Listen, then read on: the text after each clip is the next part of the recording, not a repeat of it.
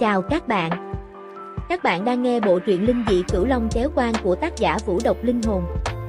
Bộ truyện được chuyển thể phun trọn bộ thành truyện audio trên kênh YouTube Thích Nghe Truyện 247.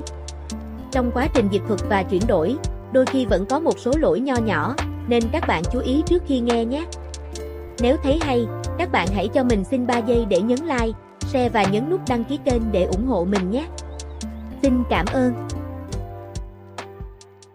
chương 803, lò kiếm xích cận 1. Quy khư ở phía đông, côn lôn ở phía tây.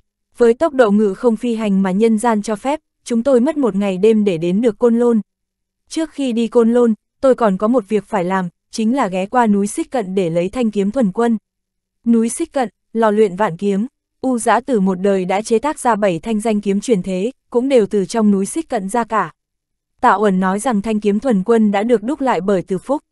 Mặc dù vẫn kiếm cách cao quý vô song, nhưng đã không thể kiểm soát được khí số của nhân tộc. Khí số nhân tộc hiện đã được từ phúc chuyển đến cờ cửu lê ở bên trong huyền quan của ông gia, kể từ đó, cờ cửu lê đã đại diện cho khí số nhân tộc. Thanh kiếm thuần quân cao quý vô song, chịu ảnh hưởng từ khí số của nhân tộc nên có được năng lực thông linh, vì vậy cô ấy không thể chuyển giao thanh kiếm này cho tôi, chỉ có nước tôi tự mình đi lấy.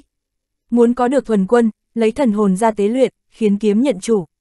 Hiện tại, tôi bảo A Lê và Ngạo Phong đến Côn Lôn trước đợi tôi, còn tôi thì ngự không phi hành bay thẳng đến núi Xích Cận. Vào lúc hoàng hôn, tôi đã bay đến Xích Cận. Khoa Linh Dị có người đang đợi tôi ở chân núi, là Hoàng Hiểu Huy, khoa trưởng khoa Linh Dị. Tính thời gian thì tôi đã quen biết NH ta được 20 năm rồi. Dung mạo của tôi không thay đổi, vẫn như trước, nhưng anh ta chỉ là một người phàm, đã xuất hiện dấu hiệu của tuổi già. Hoàng Hiểu Huy vẫn còn khá hoạt bát, với bộ quần áo chỉnh tề và đôi mắt sáng, nhưng hai bên tóc mai và vết chân chim đuôi mắt cùng nếp nhăn ở phần trán đã bán đứng tuổi tác của anh ta. Gặp lại anh ta khiến tôi có cảm giác cảnh còn người mất. Nhìn thấy anh ta, làm tôi nhớ đến anh tôi, chắc cũng già lắm rồi. Còn tạ Ngọc, chắc nó cũng đã có một gia đình nhỏ của riêng mình, có con cái rồi. Đôi khi tôi thực sự rất nhớ họ, nhưng tôi không có suy nghĩ sẽ đi gặp họ. Một khi bước vào đạo môn, sâu tựa biển, từ đó không thể quay đầu trần thế nữa. Đến cùng thì, tôi không ở chung một thế giới với bọn họ. Trước đây khi Hoàng Hiểu Huy nhìn thấy tôi, tuy là cung kính đủ lễ, nhưng phần nhiều vẫn xem tôi như một phần tử của nhân tộc, một nhân vật đáng nên tôn kính. Nhưng hôm nay, thái độ của anh đã hoàn toàn thay đổi. Trong lòng kính nể có chút sợ hãi, cũng có chút bối rối. Cung kính trước thân phận của tôi, sợ hãi trước sức mạnh của tôi, bối rối trước sự gặp gỡ của cuộc đời tôi. Hoàng Hiểu Huy, bái kiến ma đạo tổ sư, Hoàng Hiểu Huy không người hành lễ, miễn lễ, lò kiếm đã mở, đạo tổ lúc nào cũng có thể lấy kiếm. Đưa ta đi đi, lò kiếm ở sâu trong núi xích cận, vì ngọn núi này chứa đựng quá nhiều khí canh kim sát phạt, không thích hợp để ngự không, tôi theo Hoàng Hiểu Huy đi bộ đến đỉnh tàng kiếm nơi chứa lò kiếm. Đạo tàng đã từng đặc biệt viết về cuộc đời của U Giã Tử, khi đề cập đến ông ta, còn cố ý tách một phần lớn để giải thích về kiếm khí tiên thiên và kiếm khí hậu thiên. Cái gọi là kiếm khí tiên thiên, là khí sát phạt sinh ra từ sự cảm ngộ của đại đạo trời đất, không thể luyện hóa để tự mình sử dụng, nhưng có thể dùng để luyện chế thần binh bảo kiếm. Kiếm khí hậu thiên, là kiếm khí do người tu hành sau khi cầm kiếm nhập đạo, kết hợp giữa thần niệm và kiếm khí phóng thích ra. Kiếm khí tiên thiên rất chân quý, có thể gặp được chứ không thể cầu, cả lại cũng không thể tái sinh thêm được. Cho đến ngày nay, kiếm khí tiên thiên sớm đã cạn kiệt, những luồng cuối cùng cũng đã bị bậc thầy đúc kiếm u giã tử từ hơn 2.000 năm trước đem luyện thành bảy thanh danh kiếm truyền thế. Bên trong những thần binh như kiếm thanh sách và tử dính cũng chứa kiếm khí tiên thiên, hàm lượng còn dồi dào hơn cả bảy thanh danh kiếm truyền thế. Luận về thần ý, ngay cả bảy thanh danh kiếm truyền thế cộng lại cũng không thể so sánh với bất kỳ thanh nào trong song kiếm tử dính Tuy nhiên, bảy thanh danh kiếm cũng có đặc điểm mà cả song kiếm tử thanh không thể nào so được, đó là truyền thế, là được truyền từ đời này qua đời khác khắp thế gian, kiếm cách được gia tăng nhờ vào khí số nhân tộc, cũng nhận được niềm tin tín ngưỡng của nhân tộc. Chỉ riêng điều này đã nâng cấp phẩm giai của bảy thanh danh kiếm truyền thế lên nhiều bậc. Nhưng đáng tiếc là Thái A, Trám Lư, Thừa Ảnh, Thất Tinh Long Uyên, vân vân. Những thanh kiếm này đều đã bị chìm trong dòng lịch sử dài đằng đẵng của thời đại mạt Pháp, chỉ còn giữ lại được một thanh kiếm thuần quân đến hôm nay. Thái A là thanh kiếm chư hầu uy đạo, Trám Lư là kiếm nhân đạo, Thừa Ảnh là kiếm của yêu nhã tinh tế, Xích Tiêu là kiếm của đế đạo, Thất Tinh Long Uyên là kiếm của sự cao quý, Ngư Trường là thanh kiếm của sự dũng cảm, Thuần Quân là thanh kiếm cao quý vô song. Những đạo đều là đạo của người luyện võ, những thanh kiếm này cũng là những thần binh mà kiếm khách võ đạo mơ ước từ lâu. Trong số 7 thanh danh kiếm truyền thế, thuần quân là người thắng lợi cuối cùng, cũng chỉ có nó mới xứng đáng với cụm tôn quý vô song. Lúc đến, Khương Tuyết Dương cũng từng nhắc đến thuần quân với tôi, cô ấy bảo thần thông của thuần quân có lẽ đã đạt đến trình độ của song kiếm tử thanh, món quà tạ lễ do tôi đã giúp cô ấy lấy được ma đạo này của tạ ẩn quả thực là một cơ duyên tuyệt vời cho ma đạo. chương 804, Lò kiếm xích cận 2 Kiếm thuần quân không chỉ đại diện cho khí số nhân đạo, mà nó còn chứng kiến toàn bộ lịch sử võ đạo. Võ giả cũng có kiếm đạo, cũng có lượng kiếm khách đếm không xuể, tông sư kiếm đạo. Lúc đầu khi tôi lĩnh ngộ kiếm thất sát, cũng là lấy cảm hứng từ các cuốn kiếm phổ cổ xưa. So với kiếm đạo của đạo môn, kiếm đạo của người luyện võ tập trung vào những thay đổi của chiêu thức, bởi vì chúng không có kiếm khí. Kiếm thuần quân là được thiết kế đặc biệt cho các võ giả, trọng tâm, cảm giác tay đều phù hợp với lối xuất chiêu của võ giả. Tu vi đạt đến trình độ hiện tại của tôi, thì hình kiếm khí đã hoàn toàn thay thế cho sự biến hóa của chiêu thức đi kiếm, nhưng điều này không có nghĩa là tôi có thể tùy ý xuất kiếm theo ý muốn. Chiêu kiếm có thể làm cho kiếm khí của tôi càng thêm bạo phát, không bị khống chế, đồng thời cũng tăng thêm uy lực sát phạt. Mà để tung ra những chiêu kiếm, cần phải có một thanh kiếm tốt. Từ quan điểm này mà nói, ý nghĩa của thanh kiếm thuần quân đối với tôi thì vẫn cao hơn thanh kiếm gãy của thiên đạo, tiền đề là nó phải có đủ sự kiên cố, có thể chống chịu uy lực kiếm khí của tôi. Ở chỗ sâu trong sơn cốc, có một cái động đá, có thể trực tiếp dẫn đến tâm của địa hỏa, lò kiếm được giấu ở trong lòng núi. Núi xích cận trước giờ đều không mở cửa với thế giới bên ngoài, đặc biệt là sơn cốc nơi đặt lò kiếm, càng được răng trùng điệp cấm chế, tuyệt không cho phép người trong đạo môn đến đây để luyện chế pháp khí. Bởi vì kiếm là vũ khí sát phạt, một số kiếm khi sinh ra đã mang điểm gở, có thể mang đến tai họa cho nhân gian. Thời kỳ mạt pháp là vậy, sau khi mạt pháp kết thúc, Từ Phúc đã tự mình đến đây thực hiện một số thủ đoạn. Nếu không có Hoàng Hiểu Huy hướng dẫn, ngay cả khi tôi có đạo thể thiên tôn, cũng không thể chịu được cuộc phục kích từ ma trận bức xạ điện từ trong núi. Đưa tôi đến cửa hang động, Hoàng Hiểu Huy không có ý định đi vào, mà ở bên ngoài chờ đợi. Thể chất của ta chịu không nổi kiếm khí sát phạt, đạo tổ một mình đi vào lấy kiếm đi. Hoàng Hiểu Huy nói, được bên trong động tối tăm u ám, càng đi xuống lại càng nóng. Tôi đang rất vội, cả đoạn đường đều lao nhanh, ước tính mất khoảng một khắc đồng hồ để đến bình đài trong lòng đất. Phía trên bình đài cắm đầy những kiếm là kiếm, đủ các loại từ các thời đại. Kiếm thanh đồng xuân thu, kiếm sĩ đại phu, hán kiếm bát diện, đường kiếm, lưỡi liềm, đao kiếm triều minh. Sự thay đổi của thanh kiếm là bằng chứng rõ nhất về những thay đổi lịch sử của võ đạo, với sự tiến hóa của lịch sử, kiếm ngày càng trở nên giống với thanh đao. Người xưa có câu, luyện đao tính năm, luyện côn tính tháng, luyện kiếm là chuyện cả đời, so với kiếm, đao pháp dễ học được, mà kiếm pháp khó học nhất. Sự tiến hóa từ kiếm sang đao, tượng trưng cho sự suy tàn dần dần của võ đạo. Như thanh kiếm lục tiên tôi đang mang theo do mộ dung nguyên duệ cho mượn, kiếm lục tiên thuộc hệ thống kiếm pháp của đạo môn, cảm nhận được hơi thở của kiếm lục tiên cùng tiếng len ken của ngàn vạn thanh kiếm trên bình đài. Rất rõ ràng, kiếm võ đạo rất bài xích với kiếm của đạo môn. Chính giữa bình đài là một tế đàn, trên đó cắm thanh kiếm thuần quân phủ đầy đất bụi do từ phúc đúc lại. Trước kia tôi thấy thuần quân, mặt kiếm phẳng lặng như nước, hàn quang trong trẻo, là đôi mắt sáng. Sau khi bị từ phúc đốt cháy bằng thổ nhưỡng của cửu châu, lưới của thanh kiếm thuần quân có hoa văn lượn sóng như hình lông vũ. Ban đầu, tôi còn lo lắng rằng sức mạnh của thuần quân liệu sẽ giảm đi sau khi được đúc lại, nhưng sau khi nhìn thấy những hoa văn gợn sóng này, tôi cuối cùng cũng cảm thấy nhẹ nhõm trong lòng, kiếm thuần quân càng phù hợp hơn với kiếm khí ma kiếm của tôi. Ma kiếm thao thao, kiếm khí một khi phóng thích thì khó mà thu hồi. Từ phúc biết ma kiếm là chủ kiếm của tôi, vì tôi là bỏ ra rất nhiều tâm huyết. Cũng khó trách Hoàng Hiểu Huy nói, từ phúc đúc kiếm, hao tổn quá nhiều thần trí, nên mới không tới đây gặp tôi. Từ phúc thân cận với ma đạo, nếu như ma đạo muốn binh chủ chiến kỳ, ông ta nhất định không phản đối, giao cho tiên đạo thì ông lại càng lo rằng ma đạo sẽ gặp họa.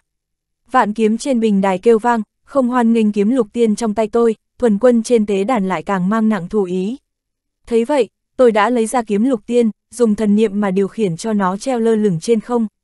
Chất liệu của kiếm lục tiên kinh người, trên thân kiếm có khắc vô số phù văn của tiên đạo, thanh kiếm này chính là thanh kiếm nổi danh của Thái Ất Tiên Tôn, sát khí nặng nề, từng trong trận chiến phong thần thể hiện thần uy. Sau khi kiếm lục tiên lơ lửng trong không trung, tiếng kêu của vạn kiếm trên bình đài trở nên dữ dội hơn. Đối với chúng, thì kiếm lục tiên là một sự khiêu khích. Vì vậy, vạn kiếm kích phát huy áp của kiếm khí vốn có của chúng, tất cả hướng về phía kiếm lục tiên xông tới. Nhưng kiếm cách kiếm lục tiên lại nghịch thiên, mặc dù trên bình đài có vạn kiếm, nhưng không cái nào có thể so sánh ngang hàng với nó. Vạn kiếm bộc phát nhưng không thể gây tổn thương chút nào với kiếm lục tiên, đồng loạt phát ra tiếng len keng lạch cạch, đây là tiếng kêu thê lương của kiếm. Mắt thấy kiếm lục tiên sắp chinh phục được vạn kiếm, kiếm thuần quân trên tế đàn phát ra một tiếng rít dài, tự chủ bay lên không trung. Thuần quân nhất xuất, vạn kiếm thần phục, kiếm lục tiên như thể gặp được đại địch, run lên không ngừng. chương 805, Bái kiến mộ dung 1 Lúc đầu, khi Khương Tuyết Dương nói thanh thuần quân có thể có thần ý của song kiếm tử thanh tôi còn có chút không tin, vì mặc dù U giã tử giỏi rèn kiếm, nhưng chất liệu của thân kiếm lại kém so với thần ý của song kiếm tử thanh. Thanh thuần quân được chế tác từ thiết của núi xích cận, đồng ở sông Nhược Gia, kém xa so với thái bạch anh kim và sắt thanh minh. Lúc này nhìn thấy kiếm lục tiên run lên, tôi mới ý thức được, phẩm giới của kiếm thuần quân đúng là do chịu ảnh hưởng từ khí số nhân tộc mà phát sinh một số thay đổi, kiếm cách tôn quý vô cùng. Kiếm thuần quân xoay người trong không trung, như thể có hai bàn tay vô hình đang điều khiển nó vậy. Kiếm lục tiên cảm nhận rõ sự thù địch, bắt đầu chuẩn bị cho trận chiến một cách tự chủ. Đợi khi hai thanh kiếm cân nhắc xong, mỗi thanh chém về phía đối phương với tốc độ nhanh nhất. Năng lượng xung kích hủy diệt được phóng ra bởi sự đối đầu của hai thanh kiếm, đã gây ra tiếng vang trong hang động dưới lòng đất, thậm chí toàn bộ ngọn núi cũng bị rung chuyển. Phía trên bình đài đài, vạn kiếm nứt gãy ngang eo, tựa thể ngọn cỏ bị gió bắc bẻ gãy. Tôi có đạo thể thiên tôn, sau khi cưỡng ép hứng chịu tác động của năng lượng xung kích hủy diệt này, tôi cũng cảm thấy hơi thở rối loạn, cổ họng ngọt ngào. Giữa muôn trùng ánh sáng và bóng tối, hai thanh kiếm tiếp tục phát huy sức mạnh. Ánh sáng của thanh kiếm thuần quân ngày càng trói lọi, thân kiếm sáng rực lên, trong khi ánh sáng của kiếm lục tiên trong trận chiến dần trở nên mờ mịt đi. Được cái này mất cái khác, kiếm lục tiên bắt đầu kêu rên không ngớt. Cuối cùng, chỉ là một lạch cạch, kiếm lục tiên bị chém thành hai khúc. Lòng tôi bị kinh động một hồi, đó là một cuộc chiến công bằng, kiếm đấu với kiếm. Sự cạnh tranh là vật liệu của chính thanh kiếm, cũng gồm cả uy áp kiếm cách phát ra. Kiếm cách của kiếm lục tiên rất cao, nếu quy đổi thành cảnh giới của người tu chân, ít nhất cũng tương đương với cấp bậc của thiên tôn. Không ngờ rằng, kiếm cách của thuần quân kiếm lại bá đạo như vậy, chẳng những mạnh mẽ đập nát kiếm cách của kiếm lục tiên, mà còn chém nứt cả eo kiếm. Trong lòng tôi cảm thấy hơi hối hận, tôi phải báo cáo với mộ dung nguyên duệ về việc thanh lục tiên bị hủy đây. Mặc dù tiên đạo có rất nhiều thần binh, nhưng không có nhiều thanh tốt như kiếm lục tiên. Sau khi chém đứt lục tiên kiếm, kiếm thuần quân trở nên uy nghiêm hơn, mũi kiếm chỉ vào tôi từ phía xa, giống như có vị đế vương trong kiếm. Tôi đi về phía nó, mỗi bước tôi đi, sát khí trong tôi càng nhiều thêm một chút. Muốn kiếm thuần quân nhận chủ, thì bắt buộc phải khiến nó khuất phục. Thuần quân có thần kỳ đến đâu thì suy cho cùng cũng chỉ vật ngoài thân. Ngay cả ba kiếm thai thái cổ còn có thể ngưng tụ ra được, vậy nên thu phục thuần quân cũng không thành vấn đề. Tôi đi lên bình đài, đứng đối diện với kiếm thuần quân, mở huyệt thần đình, lấy ra kiếm thai thần kiếm. Thấy kiếm thai thần kiếm, thuần quân lần nữa nảy lên ý chí chiến đấu, thân kiếm kêu lên ẩm ý, háo hức mong chờ. Không chỉ những người tu hành mới cần kiếm thai, mà cả thanh kiếm thông linh như thuần quân cũng có thể hấp thụ kiếm thai rồi biến kiếm thai thành của mình, nuôi dưỡng cơ thể và thể hiện tài năng của mình. Bất kể là kiếm của võ đạo hay của đạo môn, cũng đều sinh ra từ thái cổ tam kiếm đạo. Thứ mà tôi ngưng tụ được là kiếm thai thái cổ, làm sao thuần quân có thể chống lại được sự cám dỗ này. Ngay khi kiếm thuần quân chuẩn bị hành động, tôi lại đưa ra kiếm thai quỷ kiếm. Kiếm thuần quân bắt đầu do dự, trong khoảng thời gian đó tôi dán chặt mắt vào nó, cảm nhận sự dao động của linh thức của nó. Kiếm thuần quân do dự một lúc, nhưng cuối cùng anh tôi không thể cưỡng lại sự cám dỗ của hai kiếm thai, một lần nữa bùng phát chiến ý. Ngay lúc đó, tôi tiếp tục đưa ra kiếm thai ma kiếm. Kiếm thuần quân dung chuyển dữ dội, thân kiếm rung lắc mất kiểm soát. Ba kiếm thai cùng nhau xuất hiện, kiếm thuần quân đã cảm nhận được một cỗ nguy cơ lớn mạnh. Kiếm thai hữu hình nhưng vô thật, đương nhiên không làm được gì nó. Tuy nhiên, một người có thể trong một hơi triệu hồi được ba kiếm thai thái cổ, thì một luồng kiếm khí tùy tiện bộc phát cũng có thể phá hủy thân hình của nó. Lúc này, kiếm thuần quân cuối cùng cũng biết được người đứng trước mặt nó là người như thế nào, mũi kiếm không còn nhằm vào tôi nữa, nhưng vẫn không cam lòng thần phục. Nếu ngươi chịu cho ta sử dụng, thì ngày tam kiếm thái cổ đại thành, sẽ là lúc ngươi thoát khỏi kiếm hình hóa thành kiếm linh. Tôi nói, kiếm thuần quân bây giờ chỉ là thông linh, còn lâu mới có thể hóa thành kiếm linh. Kiếm tam ngũ trảm tà của Trương Thiên Sư có cơ duyên hóa thành kiếm linh, nhưng lại bị Thiên Sơn Linh Ngọc trấn áp, phong ấn lại rồi chế tác thành thanh kiếm cái. Sau đó, kiếm cái lại bị tạ Lưu Vân dùng để nhìn lén thiên cơ ở quy khư mà hư hại. Nghe tôi nói thế, kiếm thuần quân do dự một lúc, rồi quay ngược chuôi kiếm và bay về chỗ tôi. Tôi cầm lấy kiếm thuần quân, cắn ngón tay giữa, bên trên hai mặt kiếm viết tám chữ quỷ thần minh minh, tự tư tự lượng. Ngay khi viết xong, tám huyết tự đã bị thân kiếm hấp thụ chương 806, Bái kiến mộ dung 2. Sau đó, kiếm thuần quân và tôi lập tức sản sinh ra cảm giác huyết mạch tương liên, điều đó có nghĩa là thuần quân đã nhận chủ, tôi đã có thể thu nó vào bên trong huyền quan. Ngay lúc đó tôi đem thuần quân cùng với ba kiếm thai thu vào trong huyền quan, ngay khi thuần quân bước vào huyền quan, kiếm khí bên trong huyền quan tăng lên mấy lần liền, uy lực còn vượt xa cả kiếm thai ma kiếm khi đó. Thuần quân yên vị bên dưới cờ chiêu hồn, ba kiếm thai không ngừng quay xung quanh nó. Kiếm thai là do thần niệm và kiếm khí của tôi tạo thành, trong tương lai rất dài sau đó, thuần quân sẽ là vũ khí bản mệnh của tôi, tôi để kiếm thai tương thích với nó, hiệu quả sẽ cao hơn so với khi tôi tương thích với nó trong việc giải phóng uy lực của tam kiếm thái cổ. Sau khi khuất phục được thuần quân, tôi lập tức rời khỏi lò kiếm, trước khi đi không quên quấn chặt thanh kiếm lục tiên đã bị gãy làm đôi rồi đeo trên lưng. Chúc mừng ma đạo tổ sư, ngoài sơn động, Hoàng Tiểu Huy chúc mừng tôi, thay ta nói với từ đạo hữu lời cảm ơn, tạ lan ta sẽ ghi nhớ công rèn kiếm của ông ấy. Tôi đã mất nửa ngày để thu phục kiếm thuần quân, khi tôi đến chân núi Côn Lôn, đã là buổi chiều ngày thứ hai. Đứng dưới chân núi Côn Lôn, nhìn đỉnh núi Quần Ngọc, lòng tôi giạt rào cảm xúc, bao cảnh xưa ùa về trong lòng. Đạo làm người như mười khúc quanh của sông Hoàng Hà, suy cho cùng cùng chảy về phía đông. Ngọc cổ 8.000 năm, vậy mà một đêm đã khô cạn. Nhiều năm như vậy, không biết Ngọc Thụ Vân Đài liệu có giả đi không? Côn Lôn Tiên Đạo được bảo vệ nghiêm ngặt, ngay khi tôi hiện thân đã kinh động đến đệ tử Tiên Đạo. So với lần trước tôi đến Côn Lôn xin cỏ Long Diên, lần này đệ tử Tiên Đạo nhanh chóng nhận ra thân phận của tôi. Phúc sinh vô lượng thiên tôn, chúng tôi ở chỗ này chờ đã lâu. Một đệ tử tiên đạo cảnh giới đỉnh cao nửa bước thiên tôn sau khi hành lễ xong thì hỏi. Nguyệt thần ma đạo ở đâu? Tôi hỏi, Nguyệt thần cùng Tổ Long đã được đưa vào cung giao chỉ làm khách. Được, đưa ta lên núi. Ma đạo đã không còn là ma đạo năm xưa nữa, mà tôi cũng không phải là ma đạo tổ sư năm đó. Cho nên bây giờ đệ tử tiên đạo đã tôn kính tôi rất nhiều. Hơn nữa là, nhân vật chính của trận chiến phong thần này là nhân, tiên hai đạo. So với ma đạo mà nói, thì nhân đạo mới là kẻ thù hiện tại của họ. Vì vậy, tôi không nhận thấy quá nhiều sự thù địch từ họ, cùng lắm cũng chỉ là sự tò mò. Thiên tôn khó chứng, đại đạo khó tìm, tôi mới tu hành hơn 20 năm, có thể xếp vào hàng thiên tôn, lại thêm một tay gầy dựng ma đạo lấy lại khí thế năm xưa.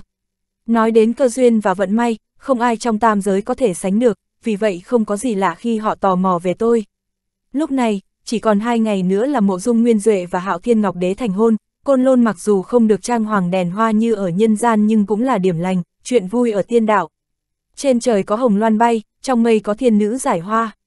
Đỉnh núi được bao phủ bởi những đám mây bảy sắc tốt lành, tiên nhạc đang ngân vang, giống như vương quốc thần tiên trên trời.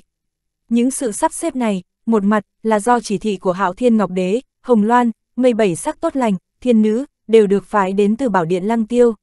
Một phương diện khác là sự sắp đặt tỉ mỉ từ côn lôn tiên đạo, mặc kệ bản thân mộ dung nguyên duệ có thành tâm tiếp nhận cuộc hôn nhân này hay không, sau khi được tử vi đại đế và cửu thiên đãng ma tổ sư chấp thuận, thì đã trở thành một chuyện chắc như đinh đóng cột rồi.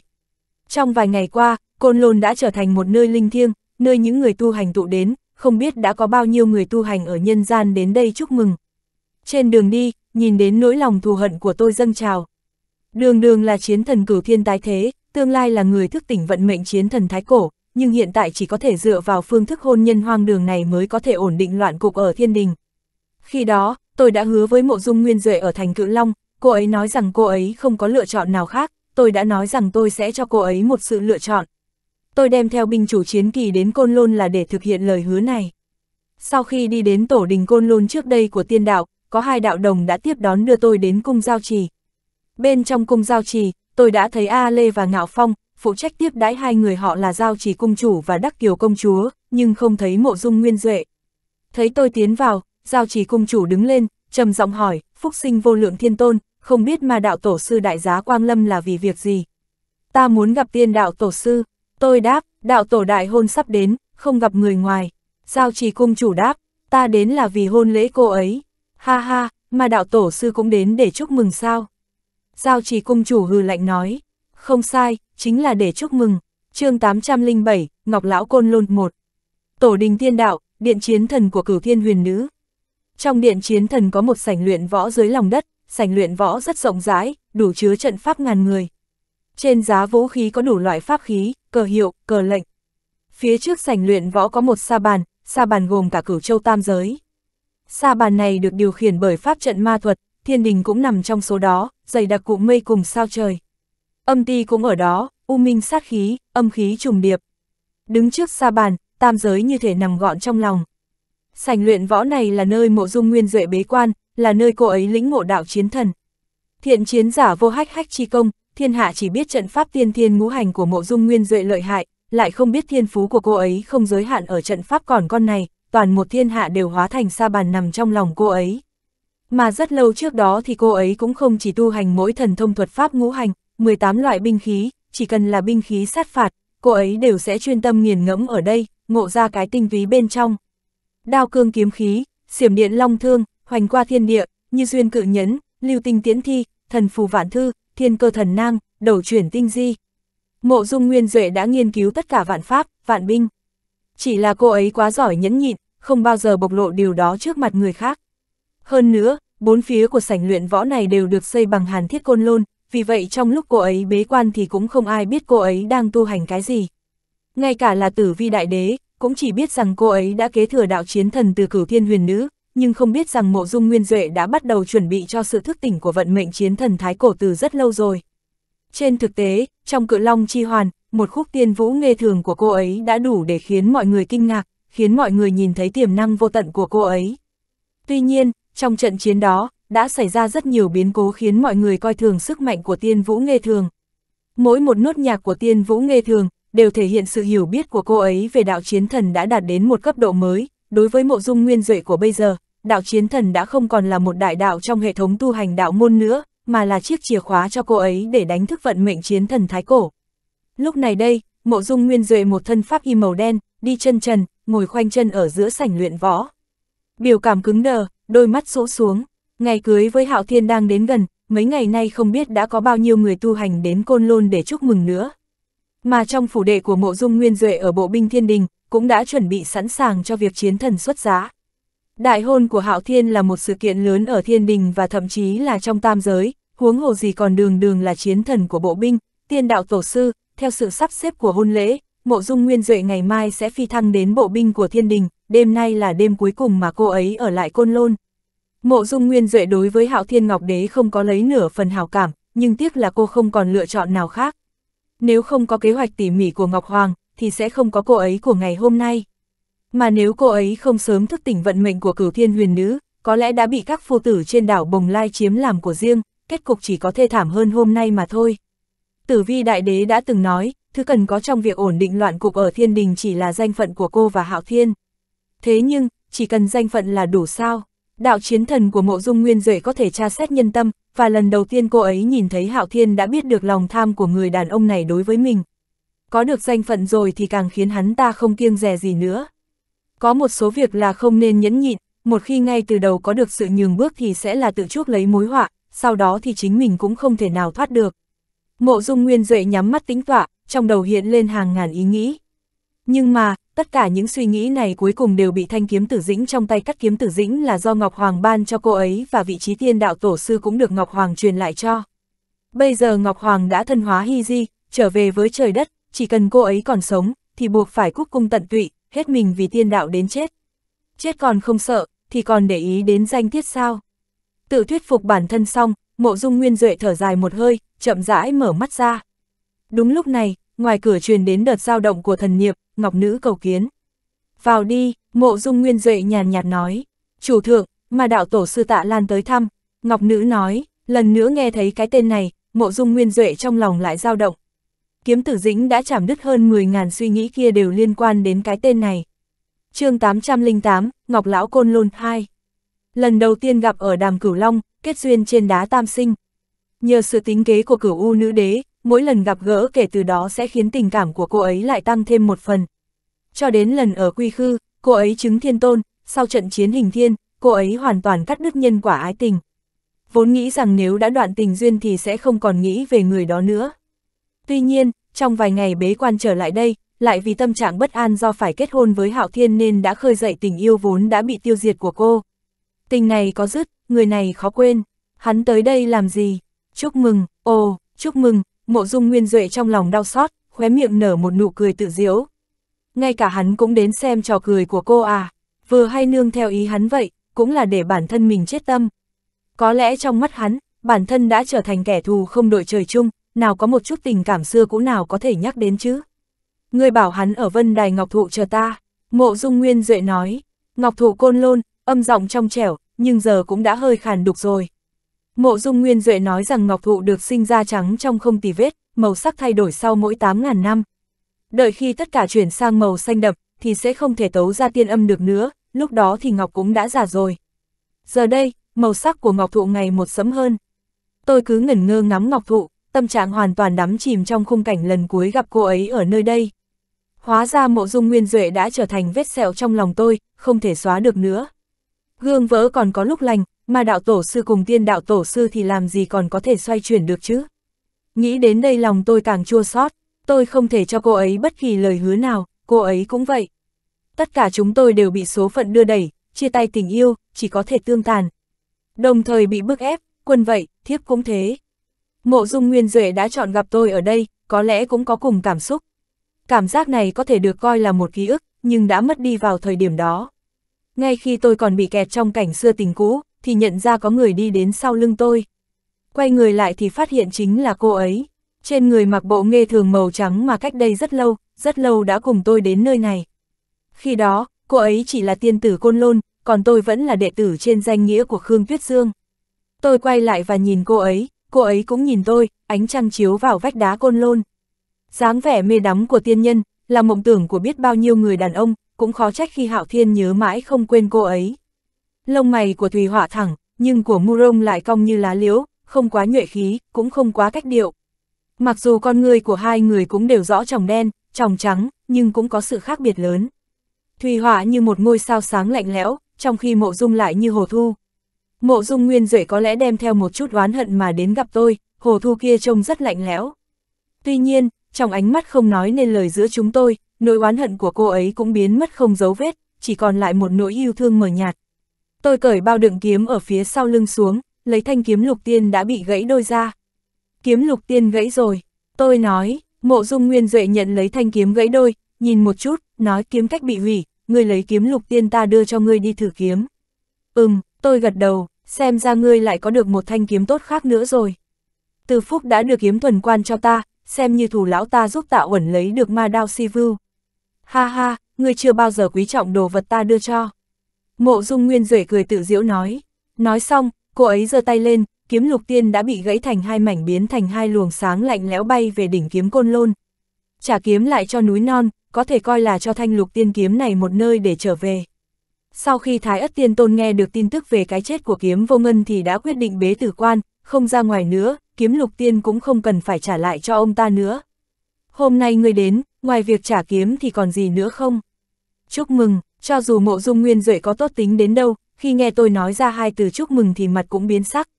Cao mày, chừng mắt nhìn tôi, lòng đầy oán hận nói, tạ lan, người từ quy khư xa xôi đến côn lôn chỉ để làm nhục ta sao? Giai nhân nổi giận, cao mày tiêu điều, nhưng trong tim tôi vẫn thấy đẹp đến nao lòng.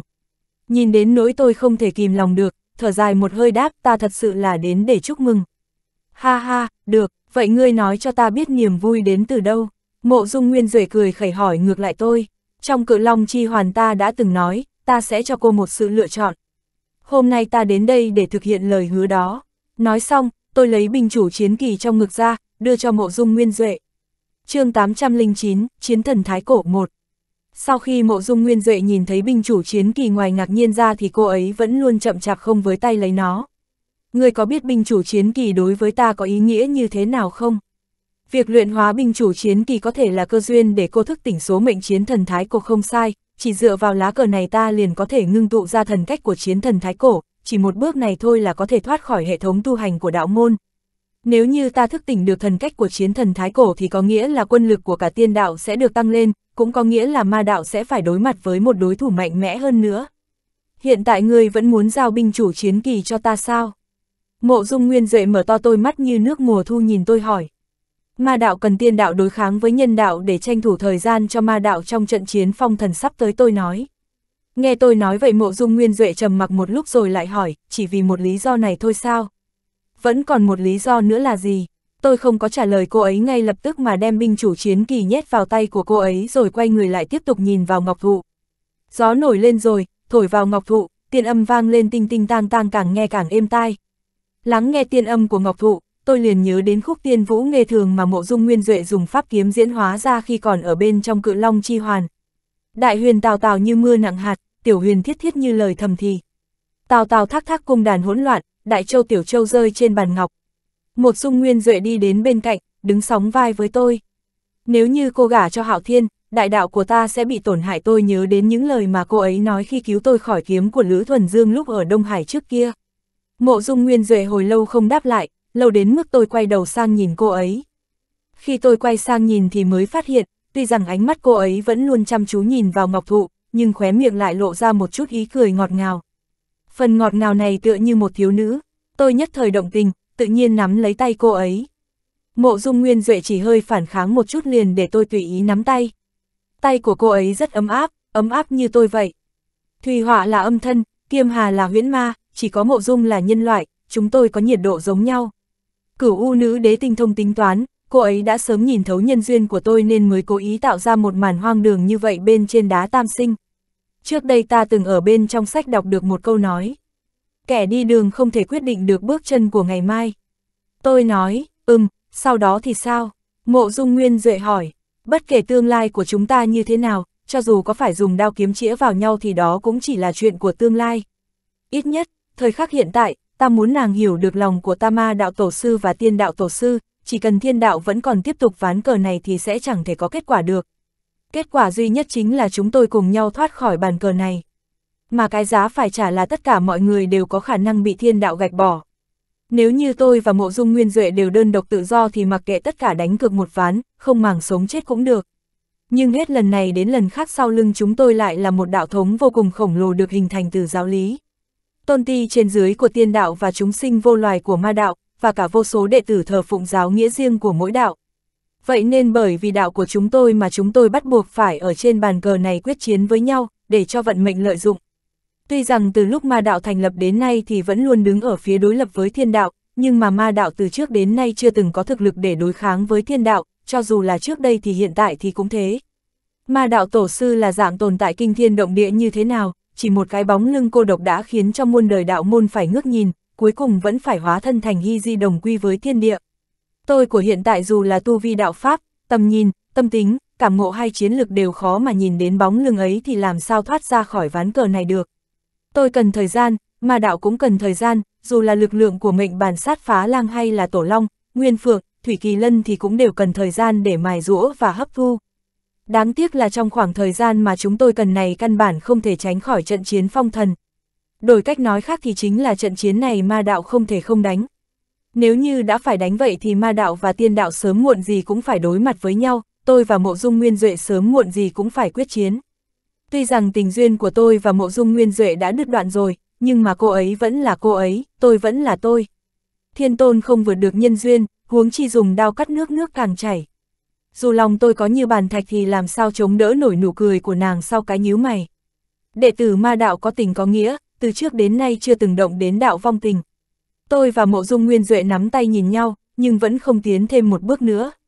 chương 810, Chiến thần Thái Cổ 2 Lúc này tâm trí trống rỗng viên mãn, nếu như lại tiến thêm một bước quấn quýt si mê sẽ sinh ra nghiệp chướng. Quay về đi, cô chỉ có thời gian một đêm, ta hy vọng rằng cô có thể luyện hóa binh chủ chiến kỳ kịp thời, ngưng tụ ra thần cách chiến thần thái cổ được, sau khi đi xuống ta sẽ an bài Minh Nguyệt cung chủ dẫn A Lê đi gặp tộc nhân của cô ấy, thả bộ tộc Đông Di rời đi. Người trước tiên đến điện chiến thần đợi ta, ngưng tụ thần cách chiến thần thái cổ không phải chuyện nhỏ, ta cần ngươi giúp ta hộ pháp. Tại sao lại là ta? Tôi hỏi, ngươi từng vì thê tử của ngươi phong thần, ta muốn ngươi nhìn thấy khoảnh khắc khi ta trở thành chiến thần thái cổ. Điện chiến thần, võ trường diễn võ dưới mặt đất, binh chủ chiến kỳ là pháp bảo thông linh, có thể biến lớn nhỏ tùy ý. Sở dĩ nói binh chủ chiến kỳ là cơ duyên để mộ dung nguyên duệ thức tỉnh chiến thần thái cổ là bởi vì lá cờ này phù hợp một cách hoàn mỹ với chiến thần trị ý bên trong chiến thần trị đạo. Chiến thần trị ý cùng loại với quân uy của Thùy Họa, dưới sự thi chuyển của mộ dung nguyên duệ thì có thể nâng chiến ý của đại quân lên đến mức cao nhất, đồng thời còn có thể giúp mộ dung nguyên duệ tùy tâm tùy ý điều hành sự biến hóa trận hình của đại quân. Quan trọng nhất chính là chiến thần chi ý còn có thể để cho phân thần của mộ dung nguyên duệ kế thừa. Thùy Hỏa cần phải tự thân xuất chiến thì mới có thể bộc phát quân uy, nhưng một phân thần của mộ dung nguyên duệ cũng có thể làm được điều này. Vậy nên tôi mới nói mộ dung nguyên duệ là người thích hợp nhất để sở hữu binh chủ chiến kỳ. Mộ dung nguyên Duệ đã dung hợp chiến thần chi đạo đến mức viên mãn trong lúc đạt được chiến thần chi ý thì liền có thể ngưng tụ được thần cách chiến thần thái cổ. Bởi vì bản thân cô ấy đã có thần vị của chiến thần, cho nên không cần phải phong thần nữa, có được thần cách thì cô ấy chính là chiến thần thái cổ từ nay thoát khỏi hệ thống tu hành của đạo môn. Trước kia thiên đạo cấm thái cổ thần ma trở về là bởi vì muốn suy diễn ra huyền cơ vận mệnh bên trong hệ thống tu luyện thuần túy của đạo môn, nhưng hiện tại hắn suy diễn thất bại, nên cũng không thể cấm đạo của thái cổ thần ma nữa. Mộ dung nguyên duệ thức tỉnh chiến thần thái cổ, cho dù thiên đạo có xuất hiện trở lại cũng không thể mạnh mẽ can thiệp vào. Trải qua vô số ngàn năm, thiên đạo hiện tại đã không còn là thiên đạo của lúc trước, năm đó hắn có thể phong sát thái cổ thần ma trong tam giới, hiện tại uy năng của hắn chỉ có mạnh hơn chứ không thể yếu hơn trước kia. Mộ dung nguyên duệ khoanh chân ngồi xuống đất, mở ra huyệt thần đình, bắt đầu dùng thần hôn tế luyện binh chủ chiến kỳ. Muốn đem binh chủ chiến kỳ chuyển hóa thành chiến thần chi ý thì cần phải thực hiện bên trong huyền quan của cô ấy, trước đó cô ấy cần phải để cho binh chủ chiến kỳ nhận chủ để thu vào huyền quan. Chuyện này tiến hành rất thuận lợi, thứ nhất là bởi vì bản thân binh chủ chiến kỳ khá phù hợp với chiến thần chi đạo, thứ hai là bởi vì trước khi tạo ẩn giao binh chủ chiến kỳ cho tôi thì đã dùng cờ cửu lê xóa đi ấn ký của si vưu bên trong bên binh chủ chiến kỳ. Binh chủ chiến kỳ là do tạo ẩn đoạt được, tùy tiện giao cho tiên đạo tất nhiên sẽ khiến cho nhân đạo bất mãn, nhưng mà đợi đến khi mộ dung nguyên duệ hoàn toàn luyện hóa được nó thì đây đã không còn là vấn đề, bởi vì đến lúc đấy thì chẳng ai có thể phát hiện ra được sự tồn tại của binh chủ chiến kỳ nữa. Đến cả tử vi đại đế cũng không thể tính ra số mệnh chiến thần thái cổ của mộ dung nguyên duệ thì những người khác lại có thể hiểu rõ được chiến thần thái cổ đến mức nào. Bọn họ chỉ có thể xem uy năng của binh chủ chiến kỳ như là một bộ phận uy năng của chiến thần thái cổ. Sau khi thu binh chủ chiến kỳ vào bên trong huyền quan thì mộ dung nguyên duệ đóng lại huyệt thần đình, bắt đầu chuyển hóa chiến thần chi ý, cũng để cho chiến thần chi ý và chiến thần chi đạo dung hợp làm một, ngưng tụ ra thần cách chiến thần thái cổ. Trong lúc mộ dung nguyên duệ ngưng tụ thần cách thì tôi nghiêm túc quan sát sảnh diễn võ của cô ấy, trong lòng xúc vô biên. Kẻ thiện chiến không có chiến công hiển hách, chúng thần trên thiên đình chỉ biết rằng tư lịch của mộ dung nguyên duệ còn nông cạn, nhưng lại không biết rằng lòng cô ấy chứa cả đồi núi. Tài mưu lược không hề thua kém chiến thần huyền nữ trước kia. Điều càng khó có được hơn là huyền nữ không có được cơ duyên thức tỉnh chiến thần thái cổ nhưng mộ dung nguyên duệ lại có. Mộ dung nguyên duệ thật sự không có tài để làm đạo tổ sao. Căn bản không phải, chẳng qua là cô ấy không có thời gian để chứng minh thực lực của bản thân. Điều buồn cười nhất chính là đến cả tử vi đại đế cũng ngầm đồng ý hôn sự của cô và Hạo Thiên. Không sai, việc kết duyên với Hạo Thiên hoàn toàn có thể tạm thời ổn định cục diện hỗn loạn trên thiên đình, nhưng việc này đối với tương lai của mộ dung nguyên duệ sẽ sinh ra những tác dụng phụ. Cái cái gọi là nhân quả chính là, một bước đi sai sẽ rơi vào vực sâu vạn trường. Thời gian một đêm rất ngắn, đối với người tu hành mà nói chẳng qua chỉ như phút chốc. Nhưng mà tôi đối với mộ dung nguyên duệ rất có tự tin, cô ấy âm thầm nỗ lực nhiều như vậy, mọi chuyện đều tính toán chu toàn, cái thiếu chỉ là ý chí chiến thần bên trong binh chủ chiến kỳ. Thời gian từng giây từng phút trôi qua, tôi ngồi ở trước mặt mộ dung nguyên duệ ngắm nhìn dung nhan tốt đẹp của cô ấy. Lắng nghe hơi thở đều đều của cô ấy, nhìn hàng lông mày của cô ấy thi thoảng nhíu lại, trong lòng tràn ra vô vạn nhu tình. Dù là ngày sau binh lực cô ấy hùng mạnh hơn thì tôi cũng không hối hận với quyết định hôm nay. Để tiên đạo mạnh mẽ hơn là lựa chọn của ma đạo, chỉ dựa vào thời cục trước mắt, tôi chỉ có thể làm như vậy. Về công hay tư, tôi đều không hối hận. Một đêm trôi qua, ngay dạng sáng khi nắng sớm chiếu rọi, mộ dung nguyên duệ mở mắt, trong mắt bộc phát ra thần quang vạn trược, tinh quang bắn ra bốn phía, trục giết bát cực. chương 811, quay về thiên đình 1. Khoảnh khắc ngay khi thần quang của mộ dung nguyên duệ bộc phát cũng chính là lúc chiến thần thái cổ trở về.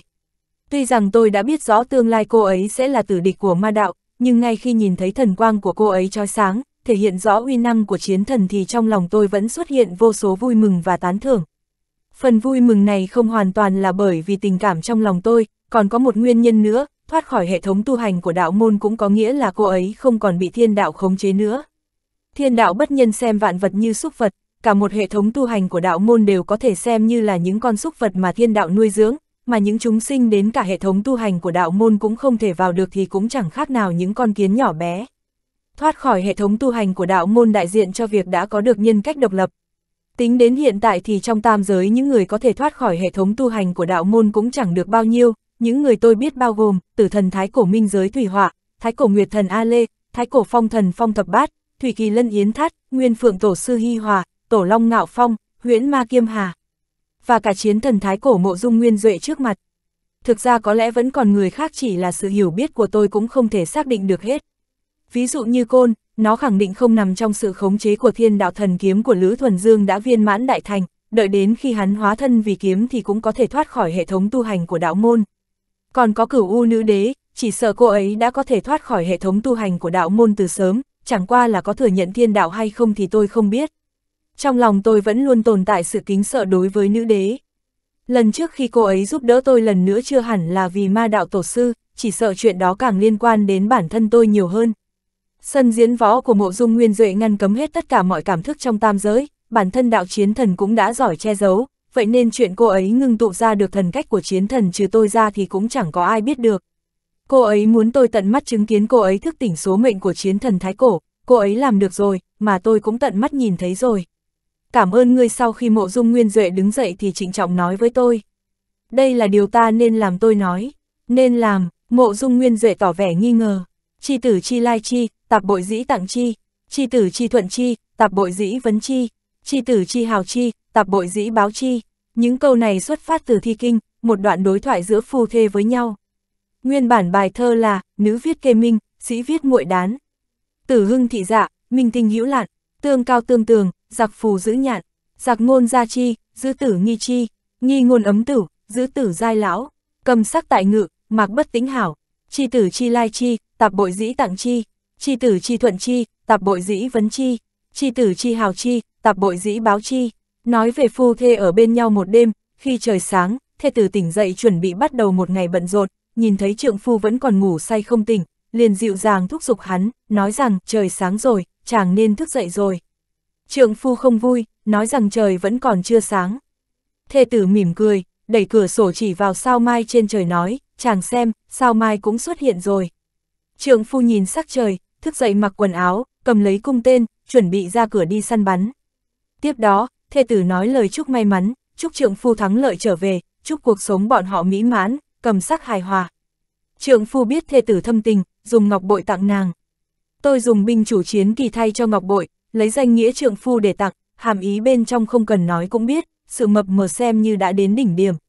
Mộ dung nguyên duệ đối đãi với tôi như thế nào, lòng tôi biết rõ. Kiếm vấn thiên, kiếm lục tiên, long thiên thảo, ở Đông Hải xã thân bảo vệ tôi, bên trong quy khư đã mạo hiểm cực lớn để đến giúp đỡ ma đạo ứng chiến với chiến thần hình thiên. Vẻ ngoài của cô ấy nhìn như lạnh nhạt vô tình nhưng tất cả những gì cô ấy làm thì không gì là không ẩn chứa chân tình. Trong quá khứ những gì tôi có thể đáp lại cô ấy rất ít, trong lòng vẫn luôn áy náy vì chuyện này, sau khi mộ dung nguyên duệ đoạn tuyệt tình duyên thì đến cả Thùy Hỏa cũng âm thầm hối hận, nói rằng không nên đối với cô ấy như vậy. Mỹ nhân tặng ta đao kim sai, cớ gì đáp lại anh Quỳnh Giao.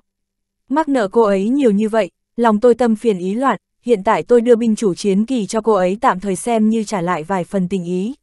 Nhưng trong lòng tôi cũng biết rõ, nợ tình khó mà trả hết, món nợ với cô ấy sợ là tôi vĩnh viễn cũng không thể dứt sạch. Cho dù là mộ dung nguyên duệ lòng sáng như gương thì cũng không ngờ đến tôi sẽ dùng những lời thơ mập mờ như vậy để đáp lại cô ấy, vẻ mặt cô ấy hiện lên sự ngại ngùng, giữa hai hàng mài cũng mang vài phần xấu hổ. Cô ấy sẵn giọng, hôm nay người hơi kỳ lạ, chương 812, quay về thiên đình 2. Có gì kỳ lạ, tôi cười hỏi, nói lời đường mật hơi nhiều, cũng không sợ mấy lời này lỗi thời có thể do ta biết được nếu như những lời này không nói ra thì sau này sẽ không còn cơ hội để nói nữa vậy thì cũng không nên nói những lời này ngay khi ta sắp thành hôn mộ dung nguyên duệ quay nhanh sang nói. Sao vậy, cô đã ngưng tụ ra thần cách của chiến thần thái cổ chẳng lẽ con muốn gả cho hắn sao? Nghe cô ấy nói như vậy trong lòng tôi đột nhiên nhói đau. Bệnh căn của tiên đạo quá sâu, chỉ dựa vào một mình ta thì không thể diệt sạch vậy thì cũng không đáng để cho cô hy sinh như vậy tôi chân thành nói. Ngươi không muốn ta gả cho người khác, mộ dung nguyên duệ mở to đôi mắt xinh đẹp hỏi tôi. Ta chỉ là không muốn bình chủ chiến kỳ trở thành quà tân hôn cho cô, trừ phi người cô muốn gả là tôi tôi nhìn cô ấy kiên định nói. Mộ dung nguyên duệ bị tôi nhìn đến mức cúi đầu xuống, cô ấy không thể tưởng tượng được chuyện gì tôi cũng dám nói. Mộ dung nguyên duệ trầm mặc một hồi sau đó nhỏ giọng nói, ngoại trừ số mệnh không nói thì ta cũng không thể gả cho ngươi được, ngươi đã có được thê tử yêu ngươi chân thành, còn có một đạo lữ sinh tử hoạn nạn có nhau là kiêm hà ai già tôi thở dài. Sao lại thở dài ta yêu nàng, giống như yêu các nàng ấy vậy? Vậy thì tình yêu của ngươi cũng quá dư giả rồi trong giọng nói của mộ dung nguyên duệ mang theo vài phần bất mãn. Tôi không còn gì để nói, thời trẻ không biết thu liếm cảm tình, vậy nên mới vướng phải một đống nợ tình. Một đời một kiếp một đôi, không phải ai cũng làm được, cần phải có tâm cảnh và cảm ngộ. Tôi nhập đạo quá muộn, khi hiểu được những đạo lý này thì tơ tình đã vướng đầy người. Kiêm Hà tôi còn có thể lấy lý do là vì ma đạo tổ sư tính kế, nhưng Uy Nhuy và Tuyết Dương thì chỉ có thể nói là do phẩm tính của tôi có vấn đề. Còn về phần mộ dung, nhân duyên trên đá tam sinh tuy rằng có thể nói là do cửu u nữ đế tính kế, nhưng mà cũng không thoát khỏi liên quan đến trái tim tôi, nếu không thì sau khi nhân duyên trên đá tam sinh đứt đoạn thì tôi cũng sẽ không nhớ mãi không quên cô ấy như hiện tại. Có những người không thể tránh được, đã định sẵn là có duyên thì ắt phải gặp lại. Ma đạo tổ sư có đại trí tuệ, ngài ấy có thể thong thả lướt qua, nhưng tôi không có phần trí tuệ đó, tôi chỉ có thể trốn khỏi kiếp nạn.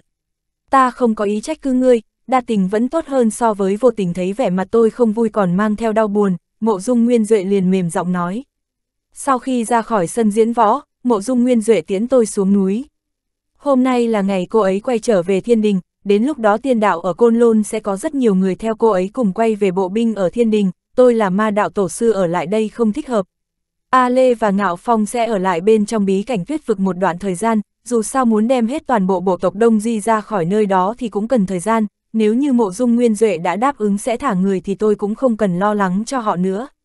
Chúng tôi đi xuống từ con đường mòn ở núi Côn Lôn, có thể tránh khỏi rất nhiều đệ tử tiên đạo, cũng có những người không tránh được, thấy chúng tôi kề vai đi bên nhau thì không khỏi kinh ngạc một phen.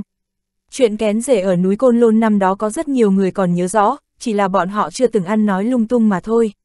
Lần trước khi mộ dung nguyên duệ tiến tôi là một đêm trăng, hôm nay khi cô ấy tiến tôi là vào hừng đông. Năm đó trăng sáng ở đó, từng chiếu sáng đường mây về. Nay ánh sáng hừng đông rọi, chỉ có sự lạnh lẽo u buồn ly biệt. Khi đưa đến dưới chân núi, tôi không nhịn được lại hỏi cô ấy, cô thật sự muốn thành hôn với Hạo Thiên Ngọc Đế. Ta có thể không gả cho Hạo Thiên nhưng mà hôn lễ này nhất thiết phải cử hành như bình thường mộ dung nguyên duệ nói. Có ý gì, thấy tôi vẫn không chịu từ bỏ, mộ dung nguyên duệ không nhịn được mỉm cười nhẹ, nói yên tâm đi, chẳng qua là ta muốn mượn hôn lễ lần này để làm chút chuyện. Chuyện gì, tôi hỏi, đến lúc đó thì ngươi sẽ biết thôi mộ dung nguyên duệ không nói ra, cô ấy là tiên đạo tổ sư có rất nhiều chuyện không thể nói cho ma đạo tổ sư như tôi biết được lưu luyến chia tay, tôi đi không dứt khoát, cô ấy cũng không nỡ quay người. Dù sao cũng là người có thân phận, không thể học theo mấy cô gái nhỏ một bước ba lần quay đầu được. Quỷ thần minh minh, tự tư tự lượng, chú Phi tôi có năng lực chiến đấu với thiên đạo mới có thể thay đổi quỹ tích vận mệnh của tôi và cô ấy. Nếu không khi ma đạo và tiên đạo gặp lại nhau trên chiến trường, không phải cô ấy chết thì chính là tôi vong. Sau khi chia tay với mộ dung nguyên duệ thì tôi liền ngự kiếm phi hành, điều khiển kiếm khí bay về phía Đông Hải. Bay mãi đến khi đến phía trên Đông Hải bị mùi tanh gió biển thổi qua thì mới tiêu tán được nỗi buồn ly biệt tràn ngập trong lòng tôi. Bóng dáng của mộ dung nguyên duệ trong lòng tôi mới lưu luyến không rời mà chậm rãi tiêu tán. Qua một ngày sau, tôi ở đình viện bắt đầu quần tinh trên Đông Hải chuẩn bị rượu, cùng Khương Tuyết Dương và Thủy Họa nhìn lên thiên đình. Hôm nay là ngày mộ dung nguyên duệ đại hôn, màn hôn lễ này nhất định sẽ bị máu tươi nhiễm đỏ. Mộ dung nguyên duệ sau khi thức tỉnh số mệnh chiến thần, sẽ dùng một màn hôn lễ nhuốm máu tươi để quét sạch cục diện hỗn loạn trên thiên đình, dùng trăm vạn thi thể nằm xuống để thể hiện chiến thần chi uy. chương 813, Ngày Đại Hôn 1, thiên đình lúc này chìm trong bầu không khí vui mừng, hồng nghê cuồn cuộn tỏa ra vạn đạo hào quang, ngàn đầu thủy khí phun ra sương mù tím. Đi vào từ Nam Thiên Môn, hai bên là trần và trụ được điêu khắc bằng ngọc, trên trụ có kim lân, diệu nhật, xích tu long quấn quanh. Tiên kiều như cầu vồng, sen kẽ bay xéo lên, tiên vụ quẩn quanh, trên cầu có thải vũ đăng không đan đỉnh phượng. Tiên hà lấp lảnh phản chiếu ánh sáng trời, màn sương mù màu ngọc bích minh mông che đi hết thảy tranh đấu. Vô số ngàn năm qua đi, thiên đình đã xây dựng được 33 thiên cung còn có 72 bảo điện. Trên đài thọ tinh, có loài hoa nổi tiếng ngàn năm không tàn, bên lô luyện dược, có ngàn vạn loại thủy thảo xanh tươi. Trước chiêu thánh lâu, sa y đỏ thấm, sao trời tỏa sáng, quan phù dung tỏa ra ánh sáng vàng xanh. Trâm ngọc, giày châu, dây tím ấn vàng, chuông vàng chuyển động, ba tàu thần tiến vào đan trì, khi thiên cổ kêu vang, vạn thánh triều vương tham kiến ngọc đế. Giải thích ba tàu gồm, tào tháo và hai con trai là tào thực và tào phi. Hết giải thích, linh tiêu bảo điện, ngọc hộ kim ninh toàn, chu môn thải phượng vũ. Hành lang gấp khúc, nơi nơi linh lung xuyên thấu, tam hiên tứ thấu, tầng tầng long phượng bay lượn. Trên quảng trường bên ngoài đại điện, thần tướng chấn thiên từ tứ phương, mặc áo giáp trụ quan, cầm cờ tiền ủng. Tự chỉ huy thần nhân ở bốn tòa thần giáp của mình, một đám người đều đeo roi huyền tiên, cầm đao nâng kiếm. Loan xe hổ cổ sắt vừa quay về, tiên nhân xếp lớp chờ đợi. Hạo thiên đại hôn, chư thần triều bái, thượng tám động, trung tám động, hạ tám động, tinh đầu mãn thiên, ngũ hồ tứ hải, tiên sơn hải ngoại, chỉ cần là người có thần thông có thể phi thăng đều tụ tập lại vào Nam Thiên môn dâng lên hạ lễ. 3.000 năm trước, từ khi tiên đạo cướp được thiên đình, sở hữu cho đến nay thì nó chưa từng rầm rộ giống hiện tại.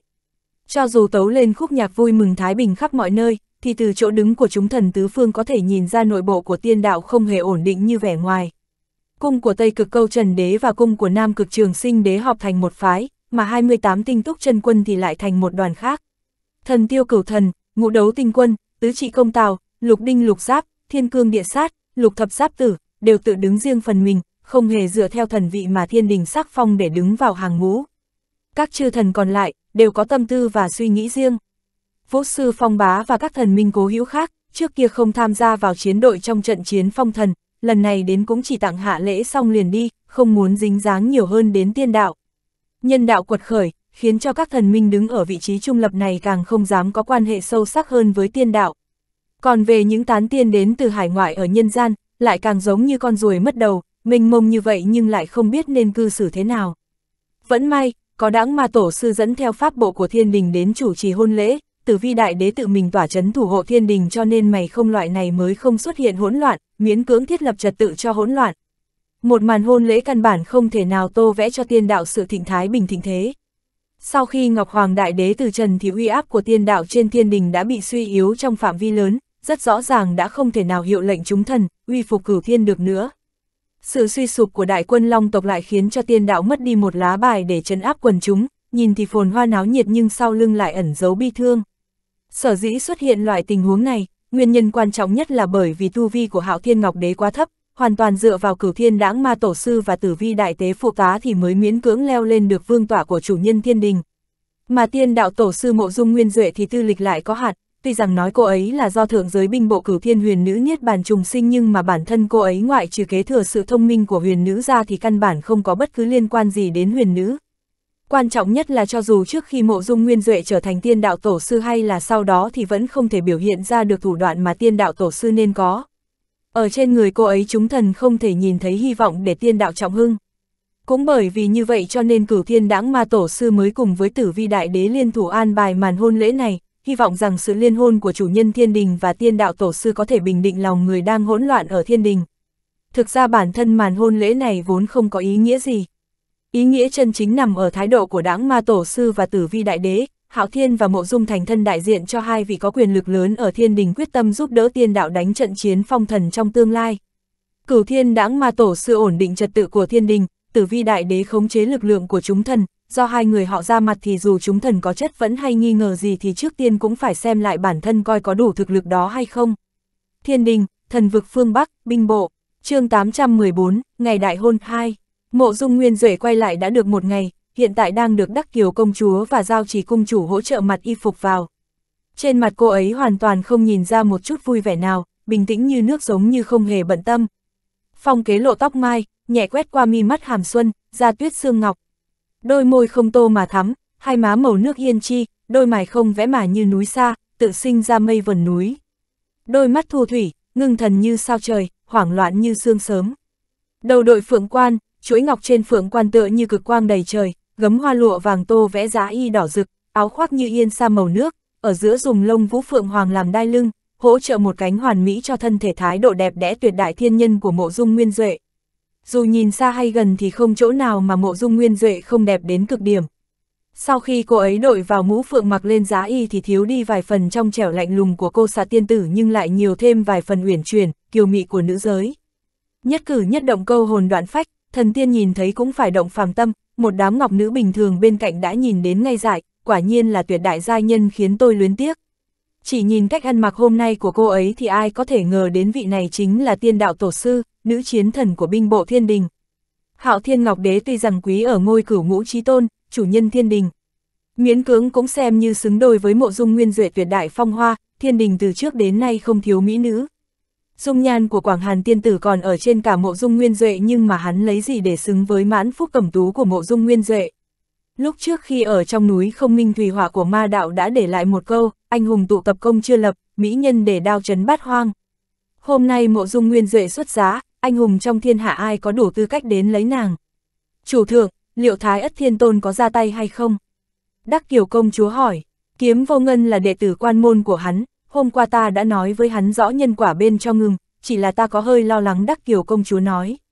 Lo lắng cái gì, câu trần thế lớn, nếu như cung trường sinh nam cực ra tay can thiệp pha ha, hôm nay là ngày ta lập uy, nếu như trường sinh dám động thì ta nhất định sẽ tự tay cắt đứt trường sinh của hắn mộ dung nguyên duệ cười lạnh nói.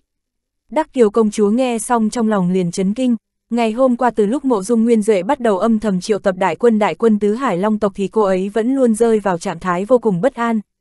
Cô biết rõ tâm sự của mộ dung nguyên duệ, biết rằng cô ấy không muốn gả cho hạo thiên, nhưng lại không ngờ đến cô ấy lại muốn dừng màn hôn lễ này để quét sạch cục diện hỗn loạn trên thiên đình. Cho dù Đắc Kiều công chúa tin tưởng vào thực lực của mộ dung nguyên duệ thì thật sự cũng không ngừng lo lắng vì cô ấy, đặc biệt là lúc mộ dung nguyên duệ nói cho cô biết rằng sau ngày hôm nay thì trên thiên đình chỉ có tiên đạo tổ sư. Điều này nói rõ mộ dung nguyên duệ không chỉ muốn động đến câu trần mà còn tồn tại tâm tư muốn phế chuất quyền lực của hạo thiên. Đắc Kiều công chúa không biết được mộ dung nguyên duệ đang ẩn chứa lá bài gì nhưng mà cô ấy tin tưởng rằng mộ dung nguyên duệ dám nói thì sẽ dám làm, hơn nữa cô ấy đã bắt đầu làm rồi. Một ngày một đêm sau khi mộ dung nguyên duệ quay trở lại thiên đình thì đã phái ra tứ đại phân thần làm rất nhiều chuyện. Phân thần quý thủy đi đến tứ hải long cung, phân thần canh kim đi đến bộ binh nội ti. Phân thần ly hỏa bí mật đi gặp 28 tinh túc, 36 thiên cương, 72 địa sát, phân thần ất mộc đi vào cung của bắc đầu tử vi đế. Mà bản tôn của cô ấy thì đi đến động phủ bế quan của Thái ất thiên tôn. Chẳng ai biết được cô ấy đã nói gì và làm gì chỉ biết rằng Bắc cực tử vi đại đế âm thầm đem binh lực bảo vệ trật tự trên thiên đình tăng lên gấp mấy lần, một bộ phận trong đó còn là tinh nhuệ dòng chính của hắn, bắt đầu tinh quân còn mang theo tử vi binh phù ẩn nấp bên trong. Binh lực tinh nhuệ của tứ hải long tộc cũng đồng thời hoàn tất điều chỉnh, tụ họp dưới sự phân phó của phân thần quý thủy của mộ dung nguyên duệ sẵn sàng nhận lệnh phân phó bất cứ lúc nào. Bộ binh thiên đình, chiến thần tinh nhuệ dòng chính được phân thần canh kim của mộ dung nguyên duệ phong hầu bái tướng. Sự bố trí binh lực này đều bị mộ dung nguyên duệ dùng thần thông che trời lấp đất của đạo chiến thần che giấu huyền cơ. Đông Hải, đình viện bắt đầu quần tinh, tay tôi cầm chén ngọc, uống một hơi cạn sạch, qua nửa canh giờ nữa chính là giờ lành đại hôn của mộ dung và hạo thiên. Chuyện lần này mộ dung nguyên duệ làm nhất định sẽ khiến tiên đạo tổn thương nguyên khí nghiêm trọng, lại càng không thể để xảy ra một chút sơ sót nào. Khương Tuyết Dương nói, Tuyết Dương, dựa theo sự suy diễn của cô thì mộ dung nguyên duệ có thể thất bại hay không? Có, mộ dung nguyên duệ đại hôn, tạ Lưu Vân nhất định sẽ rút kiếm suy đoán huyền cơ. Nếu như để hắn tra ra hôm nay là ngày thiên đình đổ máu thì nhân đạo nhất định sẽ hành động. Ừm, đây là chuyện không thể tránh khỏi, bất quá trận chiến phong thần vẫn chưa chính thức bắt đầu, nhân đạo có thể động vào những phúc địa và đạo quán của tiên đạo ở nhân gian nhưng chưa hẳn đã có thể quyết đoán trực tiếp giết lên căn cơ của côn lôn động tiên. Tôi nói, không sai, cuộc chiến phong thần vẫn chưa diễn ra, nhân đạo sẽ không quyết chiến với tiên đạo. Như vậy xem ra thì bố cục hôm nay của mộ dung nguyên duệ chỉ còn một mối nguy hiểm thôi. Là gì, cung hoa hoàng nữ hoa sẽ ra tay sao? Ngày thiên đạo trở về cũng chính là lúc nữ hoa quật khởi, câu trần đại đế có được thương huyền thiên chính là tướng tiên phong hiếm có của nữ hoa, bà ta sẽ không chờ mắt nhìn câu trần chết đi.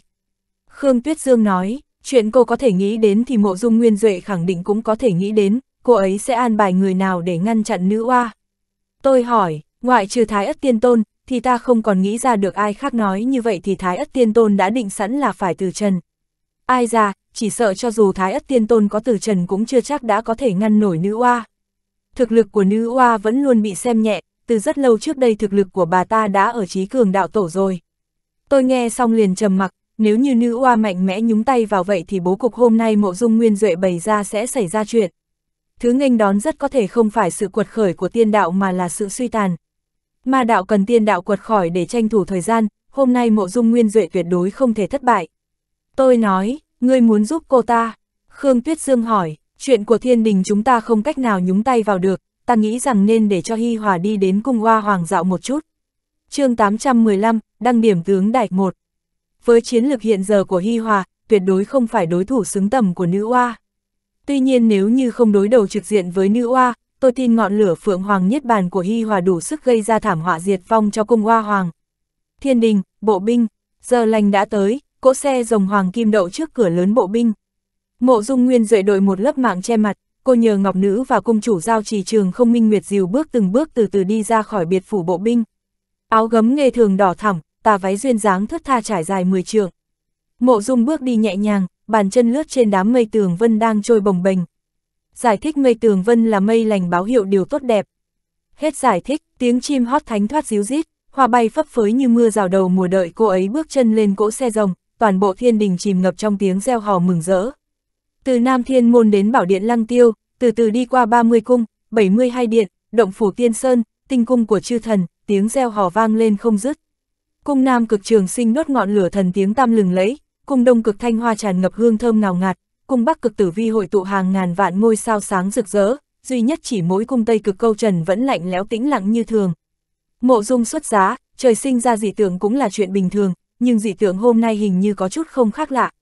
Đến ngay cả Ngọc Đế Hạo Thiên kẻ đang chìm đắm trong niềm vui sướng, một lòng mơ mộng đến cảnh tượng ôm ấp mỹ nữ cũng cảm nhận được điều bất thường. Mây tường vân bảy màu xuất hiện rất nhiều, nhưng kèm theo đó cũng xuất hiện thêm lớp sương mù đỏ thẫm. Vầng tinh tú tuy nhìn có vẻ thuần khiết, nhưng lại khiến người ta cảm thấy lạnh sống lưng. Điều làm người khác khó hiểu, chính là hình dáng vầng trăng của cung Quảng Hàn, thứ hiện ra không phải trăng tròn quang đảng thanh thoát, mà một vầng lưỡi liềm. Nếu chỉ là trăng lưỡi liềm đã đành, nhưng nó còn có dáng vẻ kiêu ngạo cứng rắn khi phách oai hùng. Trong lòng Hạo Thiên càng thêm phiền muộn, đang định dò hỏi trực thủ công tào bên cạnh, đã nghe thấy cửu thiên đăng ma tổ sư tuyên cáo, có gió tức có điểm lành, cung ninh tiên đạo tổ sư. Giải thích tứ trực công tào là bốn vị thần trông coi về thời gian trên thiên đình trong thần thoại Trung Hoa. Hết giải thích, lời này vừa thốt lên, chư thần chúng tiên đang đứng trên hội trường bảo điện lăng tiêu đều đồng lòng hướng về phía Tây Bắc. Đại doanh của bộ binh thiên đình đặt tại Tây Bắc, tách biệt với tinh cung Bắc Phi, đồng thời phải đảm nhiệm trọng trách ngăn chặn Tây Thiên lôi hải của đầu mẫu nguyên quân. Chỉ nhìn thấy ở hướng Tây Bắc, có 9 con rồng đang kéo cỗ xe rồng hoàng kim lướt trên mây chậm chậm chạy tới.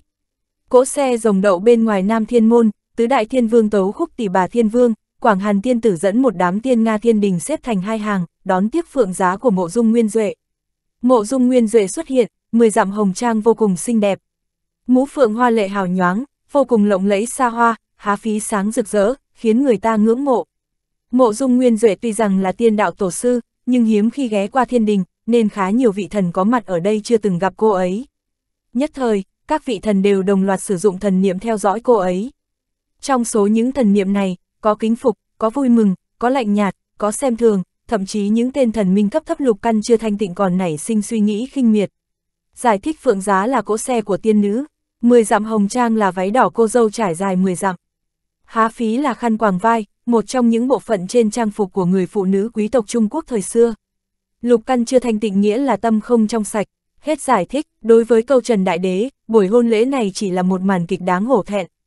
Thiên đạo sắp tái xuất, lòng trời sớm đã rời khỏi tiên đạo, tử vi đại đế và cửu thiên đãng mà nghĩ rằng chỉ cần để hạo thiên và mộ dung kết hôn liền ổn định được chúng thần ở thiên đình, quả đúng là nằm mơ giữa ban ngày. Sau khi Ngọc Hoàng đại đế băng hà, tiên đạo đã như ngọn đèn trước gió.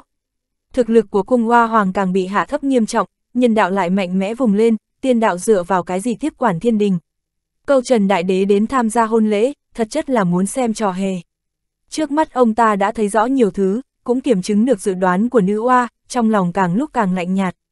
Ví dụ mâu thuẫn nội bộ giữa Nam Cực Trường Sinh Đại Đế và Tử Vi Đại Đế, 28 vị tinh túc có dự định muốn rời khỏi đội quân tiên đạo, thần minh trung vị là một đám nhát gan rụt rè, các bộ của tiên đạo lại ngại khó ngại khổ, Hạo Thiên là kẻ vô dụng u mê sắc đẹp. Thứ duy nhất khiến câu trần còn rè chừng chính là sức mạnh tiềm ẩn trên người mộ dung nguyên duệ, đạo chiến thần là một trong số các đại đạo mạnh nhất, bài tiên vũ nghề thường mà mộ dung nguyên duệ sử dụng ở vòng tròn cự long cũng đã chứng minh mắt nhìn của Ngọc Hoàng Đại Đế là chính xác.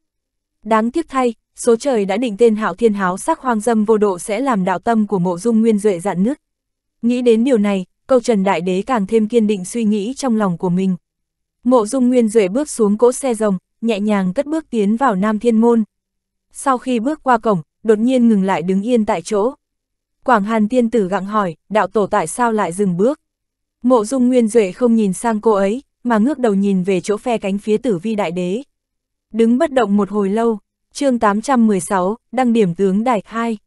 Mộ dung nguyên duệ đang đợi tử vi đại đế hạ quyết tâm, nếu như tử vi đại đế vẫn trần trừ không chịu phản kháng, cô ấy sẽ lập tức quay người rời đi. Tử vi đại đế nhàn nhạt ngước nhìn đám mây trôi, nhưng trong lòng như bị tảng đá ngàn cân đè nặng. Cửu thiên đãng tổ sư cũng nhìn sang ông ấy, nhìn cột sống chống đỡ của thiên đình. Các vị thần còn lại cũng đồng loạt hướng ánh mắt mong chờ về phía bắc cực tử vi đại đế. Mở đại trận trung thiên bắc cực tử vi chư thiên tinh đầu. Sau một tiếng hô hào hiệu lệnh từ tử vi đại đế, thần quang rực rỡ giáng xuống. Quần tinh bắt đầu xuất chiêu trước, tiếp đó là đông đầu, tây đầu, nam đầu, tứ đầu tinh phát ra ánh hào quang bao trùm cả cửu thiên. Thần tiêu cửu thần phát ra tia sáng chói lóa, 28 vị tinh túc chiếu rọi sáng rực rỡ khắp thiên hà, nhất thời các vị thiên tinh đầu, đều để lộ tinh tướng trên bầu trời. Một thiên đình nguy nga tráng lệ, bỗng chốt bị bóng tối bao trùm che lấp mọi thứ. Dưới màn đêm buông xuống, các vị tinh tú vừa oai hùng, thần bí, và vô cùng xinh đẹp. Chỉ là bầu trời đầy sao hôm nay cũng giống hệt vầng trăng kia, mang lại cảm giác rét lạnh tối tăm. Hôn lễ trọng đại của mộ dung, quả nhân muốn dùng bầu trời đầy sao này để chúc phúc cô ấy.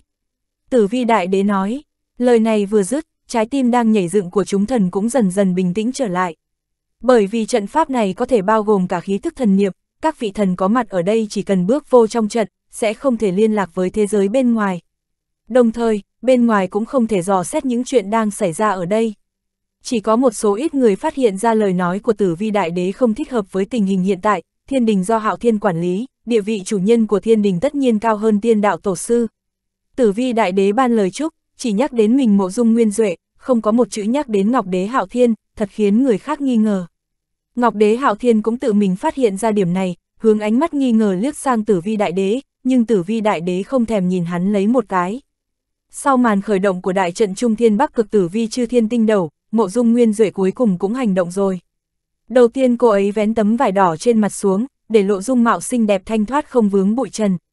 Tuy rằng không trang điểm, nhưng khí chất hoàn mỹ có một không hai, làm lu mở bóng dáng của Quảng Hàn Tiên Tử đứng cạnh cô ấy. Quảng Hàn Tiên Tử tuy rằng cũng là một mỹ nhân khuynh quốc khuynh thành, nhưng ngoài sắc đẹp hiếm có, cũng không còn nhiều thứ khác.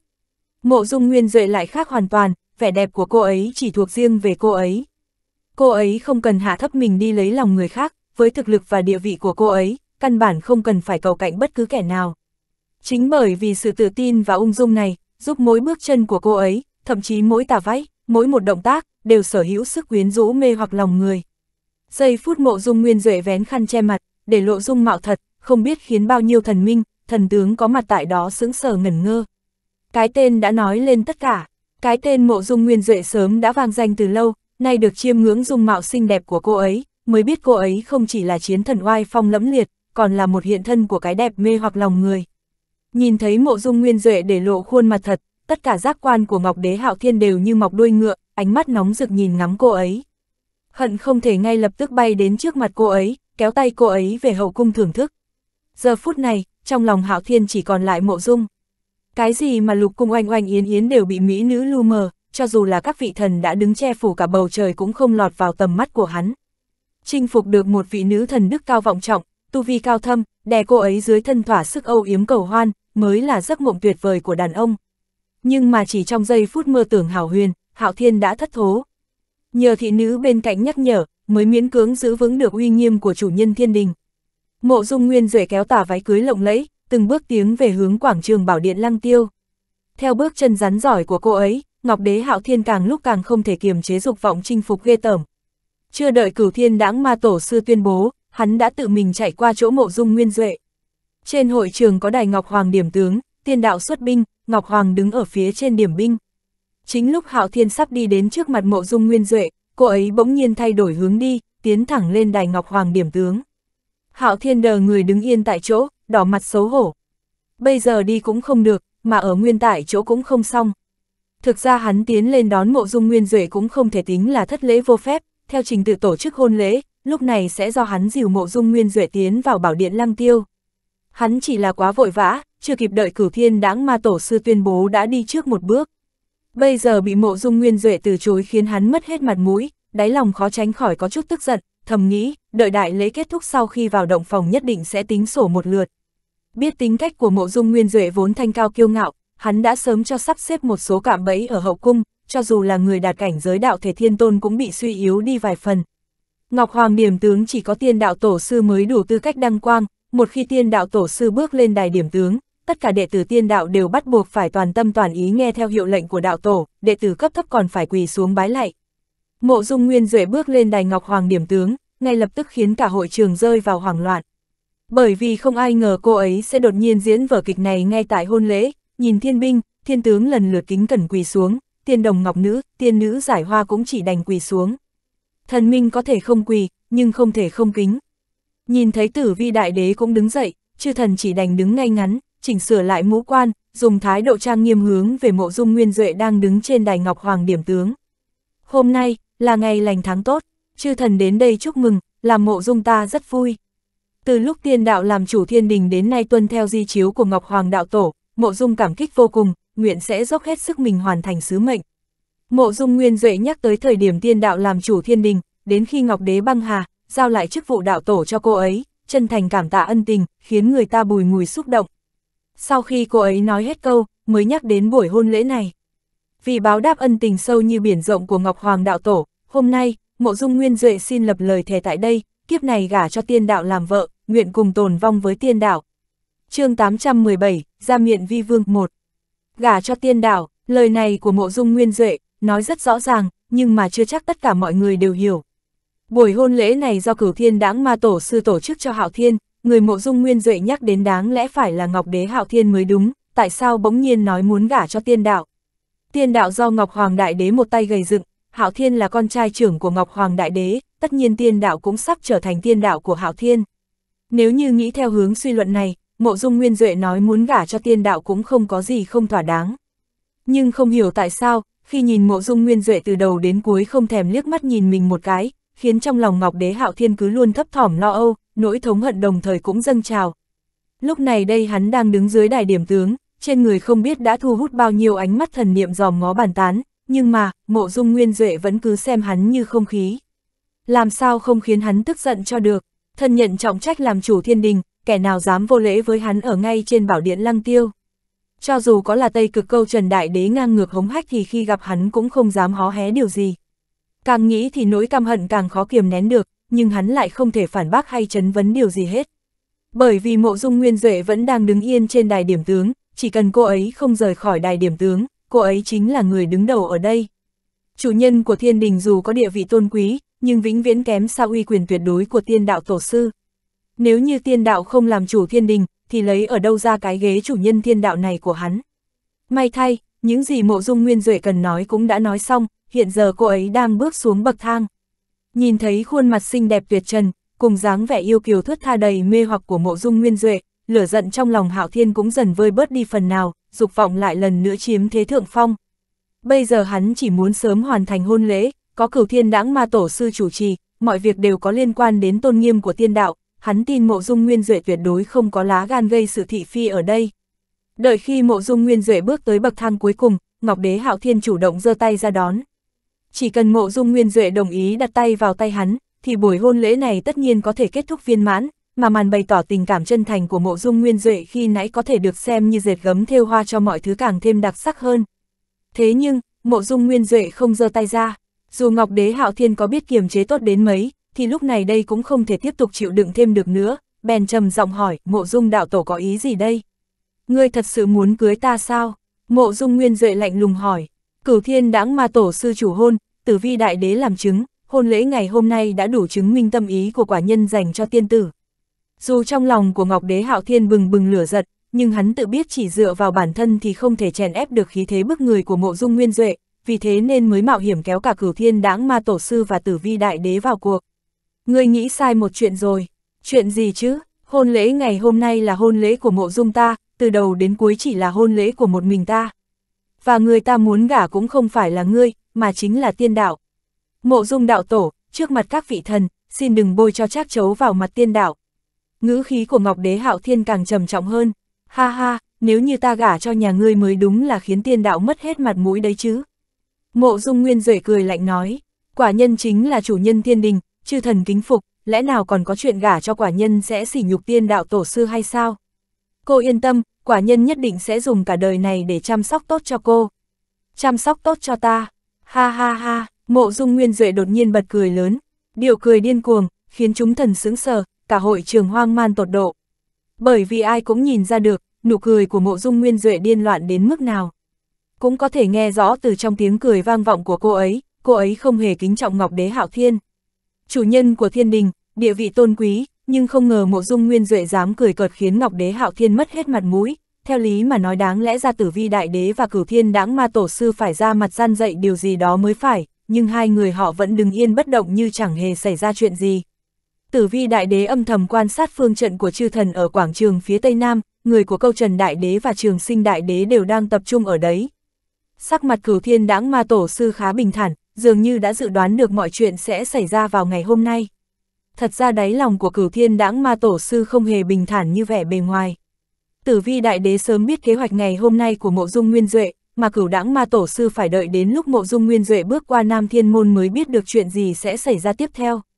Ông ta phụng sự cho Ngọc Đế Hạo Thiên đã nhiều năm nay, có tình cảm sâu đậm với Hạo Thiên. chương 818, Gia miện vi vương 2 Về năng lực của Hạo Thiên, không ai rõ hơn cửu thiên đãng ma tổ sư. Hạo Thiên nhu nhược háo sắc, chậm chạp không tiến bộ, khó thành sự nghiệp. Cũng chính vì không nhìn thấy bất cứ hy vọng gì trên người Hạo Thiên, ông ấy mới đồng ý để Hạo Thiên cưới mộ dung nguyên duệ. Thiên đình không thể một ngày vô chủ, Hạo Thiên có kém cỏi bất tài đến mấy, cũng là con trưởng dòng chính của Ngọc Hoàng Đại Đế, cần phải giữ danh phận này của hắn. Có được quyền lực của mộ dung nguyên duệ, cộng thêm uy danh của chủ nhân thiên đình, cửu thiên đáng ma tổ sư cảm thấy làm vậy sẽ giúp ổn định thế cục bất bình của thiên đình, ban đầu ông ấy cũng dùng cách này để thuyết phục tử vi đại đế. Nhưng mà, chính giây phút mộ dung nguyên duệ bước qua Nam Thiên Môn, trong lòng ông ấy đột nhiên nhận được thần niệm truyền âm của tử vi đại đế. Tử vi đại đế chỉ nói với ông ấy tám chữ, nói xong quả quyết bài bố đại trận trung thiên tử vi tinh đầu. Đại trận trung thiên tử vi tinh đầu vừa xuất hiện, tất cả những nghi hoặc của cửu thiên đãng ma tổ sư chỉ đành giấu trong đáy lòng, bởi vì chỉ cần tám chữ đã đủ khiến ông ấy hiểu rõ tiếp theo nên làm như thế nào. Chuyện nào là sao? Nam cực trường sinh đại đế dùng thần niệm hỏi câu Trần Đại Đế. Từ hôm nay trở đi, chủ nhân của thiên đình phải đổi người khác rồi. Ý của ông là mộ dung nguyên duệ muốn bước ép hạo thiên thoái vì sao? Trường sinh đại đế thất kinh thốt lên. Không sai, nhưng mà như vậy cũng tốt, phe cánh của mộ dung nguyên duệ yếu kém, nếu chỉ là suy nghĩ của một mình cô ta, chắc chắn sẽ khó thuyết phục được người khác, đợi một chút nhất định sẽ gây ra một mớ hỗn loạn cho mà xem. Nếu như đã biết sẽ có rắc rối, tại sao tử vi đại đế lại im lặng không ngăn cản cơ chứ?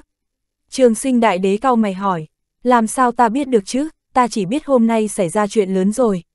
Lúc câu Trần Đại Đế nói xong câu này, thật ra trong lòng còn âm thầm đắc ý muốn đứng bên cạnh xem trò cười, không hề muốn có gì liên quan đến bản thân. Ông ta hoàn toàn không ngờ tới, hôm nay mộ dung nguyên duệ đã cố gắng bao nhiêu để hạ quyết tâm. Chính lúc mộ dung nguyên duệ cười điên cuồng, đế cung câu trần đang phải đối mặt với sát khí hừng hực bùa vây đến từ đại quân Long tộc. Long tộc xuất binh, phong ba bão táp ập đến. Đáng tiếc thay, đại trận Trung Thiên Bắc cực tinh đầu đã cắt đứt toàn bộ liên lạc giữa từ Nam Thiên Môn đến Bảo Điện Lăng Tiêu với thế giới bên ngoài.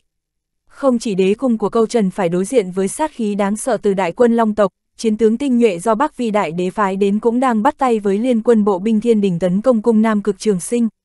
Cùng lúc ấy Nam Phương Chu Tước tinh túc trong 28 vị tinh túc cũng đang đối mặt mối nguy hiểm đe dọa đến tính mạng, tư binh của thần tiêu cửu thần bị đàn áp, hai phủ bộ binh Nam đầu, Tây đầu đều bị bức ép giao ra quyền tiếp quản. Biên giới Tây Thiên Lôi Hải, bốn đại phân thần của mộ dung nguyên duệ thống lĩnh 400 vạn quân, đối đầu trực diện với đầu mẫu nguyên quân. Nhân gian côn lôn tiên đạo, cung chủ giao trì khởi động sát trận côn lôn thủ hộ tiên thiên canh chủ, bảo vệ nghiêm ngặt tiên đạo côn lôn. Âm ti nơi đất cửu u lạnh giá, cửu u nữ đế truyền chỉ cho bắc âm đại đế châu khuất, muốn ông ta chuẩn bị thu nhận thần hồn giáng xuống từ thiên giới và nhân gian. Câu trần đại đế nói không sai, hôm nay thật sự xảy ra chuyện lớn rồi. Tử vi đại đế vẫn không có hành động gì, nên cửu thiên đáng ma tổ sư cũng không ngăn cản. Hai vị kia đã quyết định đứng ngoài cuộc, nên chư thần ngoại trừ hoảng loạn bất an, cũng chỉ đành trông chờ vào đáp án trên người mộ dung nguyên duệ. Thấy mộ dung nguyên duệ điên cuồng cười nhạo mình, lòng căm phẫn của hạo thiên đã đạt đến đỉnh điểm, cuối cùng hắn không thể tiếp tục kiềm nén nữa, lớn tiếng quát mộ dung đạo tổ, cô cười gì chứ? Cười ngươi ảo tưởng muốn ta gả cho ngươi, cô đừng quên, chức vị tiên đạo tổ sư của cô từ đâu mà có. Nếu như không phải phụ hoàng truyền lại cho cô, ban tặng cho cô kiếm tử xính, dựa vào tư cách kém cỏi của cô làm sao ngồi vào cái ghế tiên đạo tổ sư được chứ? Nghe hắn ngang nhiên nhắc đến Ngọc Hoàng Đại Đế, sắc mặt của mộ dung nguyên duệ thoáng chốc lạnh xuống. Ta tưởng rằng, những lời ta vừa nói trên đài điểm tướng đã đủ bày tỏ thái độ của ta rồi chứ. Thật không ngờ, đến tận bây giờ ngươi vẫn ngu ngốc không hiểu gì hết. Nếu hôm nay ta gả cho ngươi, mới thật sự phụ lòng giao phó của Ngọc Hoàng. Cô, Ngọc Đế Hạo Thiên tức nghẹn nói không nên lời, phất tay xoay người đi đến bảo điện lăng tiêu. Nhưng ngay lúc hắn xoay người rời đi, liền nghe mộ dung nguyên duệ nói vọng từ phía sau, một nước không thể có hai vua, tướng không thể thờ hai chủ. Ta lấy danh nghĩa tiên đạo tổ sư, phế đế vị của Hạo Thiên. Phế vua, sau khi nghe tin tức chấn động này chư thần lần nữa rơi vào náo loạn. Ngọc đế Hạo Thiên vừa nghe xong toàn thân run rẩy bùn rùn tay chân, tức giận tột cùng. Vừa định hét lớn để chất vấn, liền thấy hai cánh quân do chiến tướng cấp cao dẫn đầu một trái một phải đóng sầm cửa điện. Cửa điện đóng sập lại, điều này có nghĩa là hắn cũng không thể quay về đế cung, bước lên bảo tọa chủ nhân của thiên đình. Thấy thế, đầu óc Hạo Thiên bỗng chốc tối sầm lại. Mộ Dung Nguyên Duệ là tiên đạo tổ sư, nhưng hắn cũng là chủ nhân của thiên đình, hắn thật sự không thể hiểu được tại sao Mộ Dung Nguyên Duệ dám to gan làm điều này, càng không hiểu tại sao không một ai đứng ra ngăn cản. Ngay sau đó, Hạo Thiên chạy vội đến chỗ cửu thiên đãng ma tổ sư. Tổ sư, Mộ Dung Nguyên Duệ vòng ơn phụ nghĩa, dám cả gan sỉ nhục ta như vậy, người phải làm chủ cho ta. Hắn chưa kịp nói hết câu, đã bị cửu thiên đáng ma tổ sư ngắt lời, mộ dung không làm gì sai cả, người sai là ta. Một nước không thể có hai vua, binh không thể thờ hai chủ, mộ dung lên nắm quyền đều là vì sự cường thịnh của tiên đạo. Cái gì, không, ta không cam tâm, hạo thiên lần nữa không dám tin vào tai của mình, bình tĩnh suy nghĩ kỹ lại đi, cậu thật sự có tư cách cưới cô ấy sao?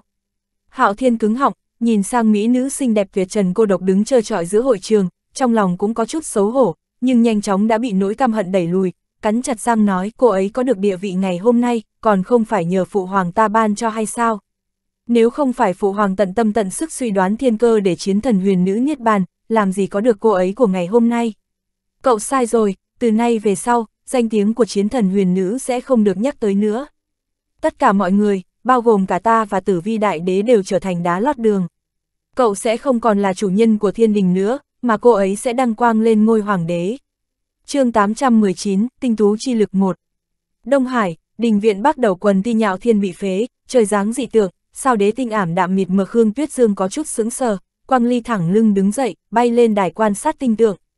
Đạo bào của Khương Tuyết Dương rộng rãi, gió thổi khiến cho hai bên tay áo cuộn lên, khăn the xanh trên đầu cũng không ngừng phiêu đáng theo làn gió. Trong ấn tượng của tôi, Khương Tuyết Dương vẫn luôn điềm tĩnh, hoặc có thể nói là ẩn nhẫn, hôm nay không biết vì lẽ gì mà đột nhiên trở nên khoáng đáng như vậy. Có điều cô ấy như vậy càng khiến người ta thêm yêu thích, mơ hồ khiến tôi nhìn thấy phong thái trước đây, quả không hổ danh là thiên hạ hành tẩu. Rượu tới nghe cô lên tiếng, Thùy hòa cẩn thận rót một ly thật đầy, đặt lên trên bàn. Tôi vỗ tay một cái, ly rượu được châm đầy bay lên, rượu và ly giữa không chung liền phân khai, ly rượu bạch ngọc hóa thành một chùm sáng bay về phía Khương Tuyết Dương. Khương Tuyết Dương vươn tay đón lấy ly rượu, cổ tay không hề nhúc nhích, rượu ngọt hệt như một sợi dây bạc, nhẹ nhàng rót vào trong ly.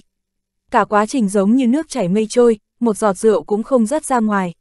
Khương Tuyết Dương nhấc ly rượu lên, hướng lên trời, một hơi uống cạn, hét to, mộ dung nguyên duệ quả thật là thủ đoạn tốt, mánh khóe hay. Xảy ra chuyện gì vậy? Tôi cười hỏi, rất hiếm khi thấy Tuyết Dương kích động sục sôi mà khen ai như thế này. Huống hồ người được tán thưởng còn là người trong lòng tôi, đế tinh ảm đạm, là điểm báo thiên đình vô chủ. Nếu như tôi đoán không sai, Ngọc Đế Hạo Thiên đã bị mộ dung nguyên duệ đích thân kéo khỏi ngôi vị thiên chủ. Khương Tuyết Dương đáp, cô ấy vì sao phải làm như vậy? Tôi hỏi một nước không thể có hai vua, quân không thể có hai chủ. Mộ dung nguyên duệ hôm nay không chỉ muốn dẹp sạch mớ hỗn loạn trên thiên đình mà còn muốn tập trung quyền lực, đứng vững trên đôi chân của mình. Hạo Thiên thoái vị, mộ dung đăng cơ, quả thực là thủ đoạn hay. Tôi cảm khái nói, tôi có thể dự tính được lần này mộ dung nguyên duệ quay lại thiên đình tất sẽ lộ ra cú đấm sấm sét, thế nhưng chẳng thể ngờ được cô ấy lại có dũng khí như thế, không chỉ muốn dẹp loạn, còn muốn tập quyền, tự lập. Thùy Hòa tuy mất đi ký ức, thế nhưng vẫn biết mộ dung nguyên duệ là thiên đạo tổ sư, là kẻ địch lớn của ma đạo. Lúc này nghe được tôi cùng Khương Tuyết Dương tán thưởng mộ dung nguyên duệ như vậy, nhịn không được, trong lòng nổi lên tò mò, hỏi, mộ dung nguyên duệ rất lợi hại sao? Ừ, tôi gật gật đầu, nếu so với em trước kia thì thế nào? Thùy Họa lại hỏi, hai người các em một người là thái cổ minh giới tử thần, một người là thái cổ thần giới chiến thần, giống như phá quân hộ Pháp Thiên Tôn và cửu thiên huyền nữ khi đó, số mệnh tương tranh, khó phân thắng bại. Phá quân chủ sát, huyền nữ chủ chiến, thiên địa giao trinh âm dương lưỡng đoạn đao của phá quân thiên hạ không người nào có thể ngăn, tiên thiên ngũ hành trận của cửu thiên huyền nữ cũng không ai có thể phá. Hai người cả đời lăn lộn trên lưng ngựa, xa trường giao chiến mấy trận, thắng bại giữa họ ngay cả trong đạo tạng hậu thế cũng khó mà bình luận. Nghe tôi nói vậy, sắc mặt Thùy Họa liền ảm đạm, yếu ớt nói, đáng tiếc, hiện tại em chẳng có gì cả. Em sẽ tỉnh lại, nhất định sẽ có một ngày như vậy. Tôi an ủi cô ấy, em sợ mình sẽ không tỉnh lại nữa. Không đâu, mà đạo không thể nào thiếu phá quân, thế nên em nhất định sẽ tỉnh lại. Hàm cốc quan, giảng kinh đài, tạ Lưu Vân quan sát tình tưởng vũ kiếm kiếm vũ kết thúc, trên đầu tạ Lưu Vân lấm tấm mồ hôi. Đế tinh ảm đạm, là dấu hiệu thiên đình vô chủ. Sự để có suy đoán được là chuyện gì xảy ra không?